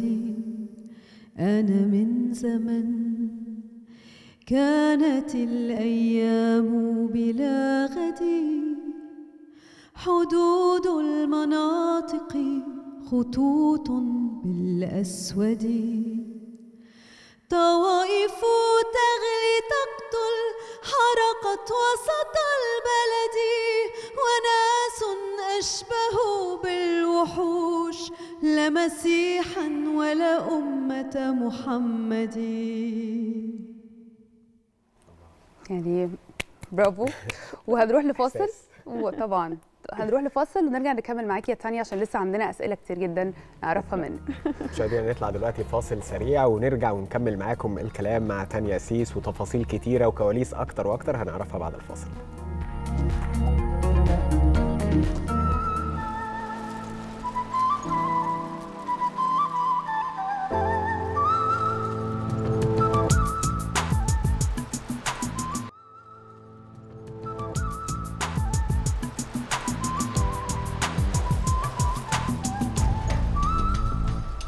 تانيا mood مختلف خالص. دي بقى فرحة البدايات. أهو. أكيد. ألوان كل بحر. كل كل شيء عنده عنده جو. لا وانت عارفة. تتكيفي مع كل يعني كل mood. إحنا حاسين إن انت ده بتاع تانيا فانت واضح انت بتعيشي فعلا الأغنية يعني بكل حاجة. يعني كان كل صوتك تفاصيلها. ال attitude ال performance طريقة أدائك نفسها للأغنية. وأنا بالحياة هيك. بشبه حسيت- حسيت بشبه كده. بشبه هيك.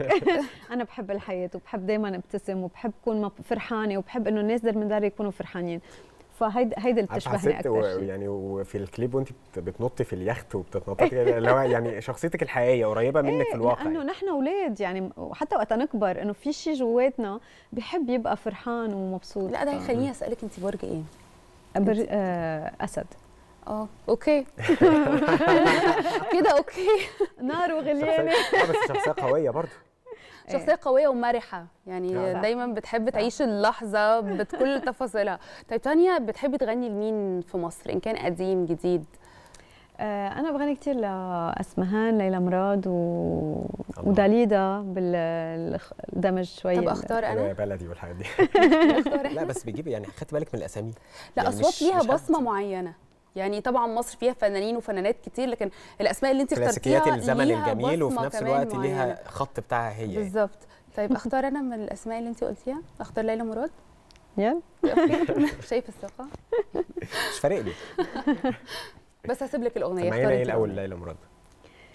أنا قلبي دليلي قال لي حتحبي. أنا قلبي دليلي قال لي حتحبي دايما يحكي لي وبصدق قلبي. أنا قلبي قلبي دليلي. إيلي لازم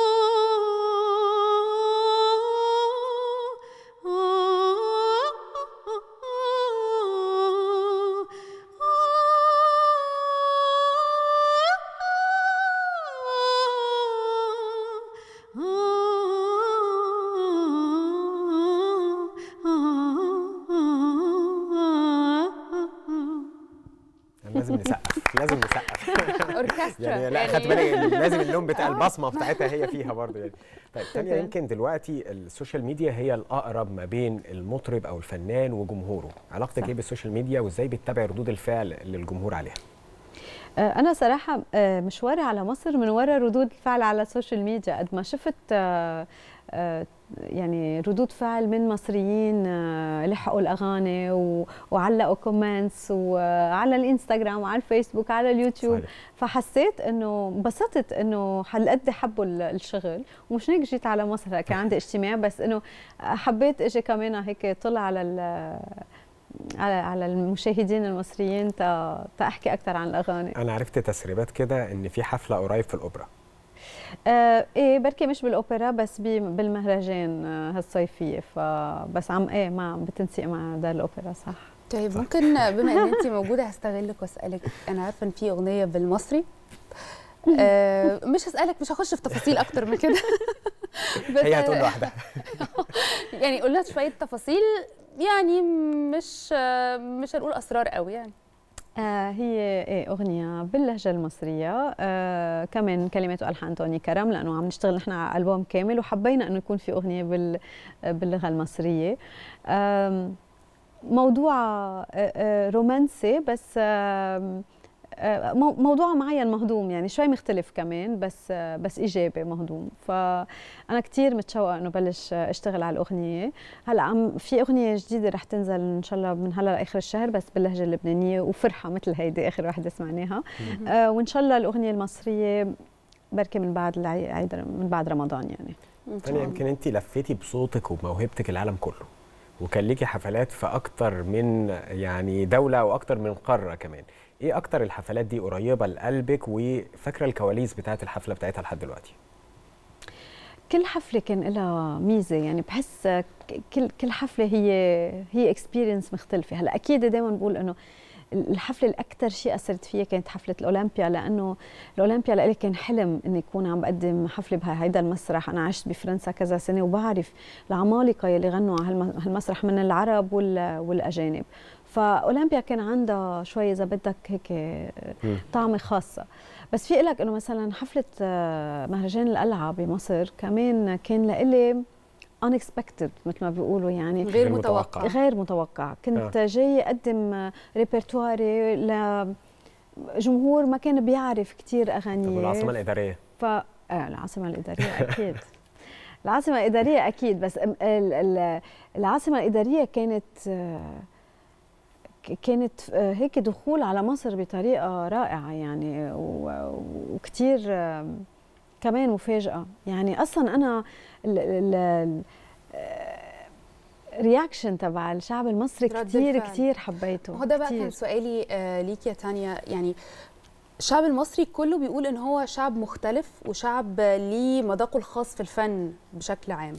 انت بتشوفي الشعب المصري إزاي؟ كتير مزوق كتير ومش معقول قديش قديش بحب الموسيقى وبيقدر الموسيقى الحلوة. يعني هلا أكيد موسيقى مختلفة في قصص خفيفة قصص حلوة فرحة قصص حزينة آه، بس بتحس المصري يعني مش معقول. و و و و والتفاصيل الصغيرة يعني مثل ما أنتم هيك عرفتوا انه كل شيء بت... بتنتبهوا على كل شيء يعني مش بس أغنية بتحبوها بتسمعوها بتمرقوا لا لا بتحبوا تعرفوا عنها أكثر. وتفاصيلها. عفوا. ذاكرناكي كويس كمان. لا عن جد إنه إنه في قصص يعني أوقات أنا بتعرفوا تنكون عم ننفذ أغنية تصوير أو تسجيل بنفكر بكتير أشياء بس أوقات بنقول الناس مش حتع... يعني ما مم. حتنتبه مش على أشياء معاها. يعني عرفت إنه أنت فزت مثلا لاحظتي إنه. أنا وصغيرة الصبي الابن كيف إنه هول القصص كتير مهمين وبحس إنه لانكم عندكم هالقد آه، ثقافة بالموسيقى وبال بال بال بالفلومة كمان آه، يعني بالفنون بشكل عام إن كان لأنه. الفيديو كليب. عبارة عن ميكس ما بين الأغنية وبنشوف كمان مشاهد دراميه صحيح. فاكتر للافلام أو فمش هيك ده شيء. كتير حلو. لنا يعني. إنه عن جد نحس قديش طيب الناس عم إحنا عارفين ان أنت بتحبي الأغاني الوطنية. ويمكن كان ليكي أغنية وطنية خاصة بلبنان. يعني أنا حابب ان إحنا نقفل برنامجنا النهارده. صباح الخير يا مصر. بيه يعني دايما بيكون في علاقات مصرية لبنانية وثيقة وقوية قوي. فتعالي نقفل بالأغنية دي وإحنا بنسمعها منك ونطلع على الفيديو كليب نختم انت عم تحكي بركي عن أغنية وطني؟ وطني. صحيح. أغ- آه، أغنية وطني من كلمات والحان مروان خوري وتوزيع ميشيل فاضل. وكان لي يعني كنت كثير سعيدة اقدمها لأول مرة بسيدني أوبرا هاوس بأستراليا للجاليه اللبنانية. وأخذت لها جائزه ميوهيكس دوغ وهذا شيء كثير يعني آه، آه، فرحني لأنه آه، أغنية شوي وطنية مختلفة بتحكي عن صح. ال- المغترب يعني اللبناني اللي عاش برات البلد. يعني قبل ما نسمعها طبعا بنشكرك لوجودك معنا في أنا صباح بدي الخير يا أشكركم مصر لهالاستضافة وهال نورتينا في بلدك التاني مصر الصبحية الحلوة معكم شكرا. الصبحية طبعا أحلى بيكي ودايما منورانا في مصر. مصر طبعا بلدك التاني وإحنا بنعتز بوجودك وبنعتز بكل الحقيقة الشعب اللبناني آه، الشقيق. نورتينا وإن شاء الله إن شاء الله كمان نشوف لبنان الفترة الجاية في وضع أحسن بكتير زي ما كنا. بنتكلم أنا وإنتي وأحمد من شوية. إن شاء الله.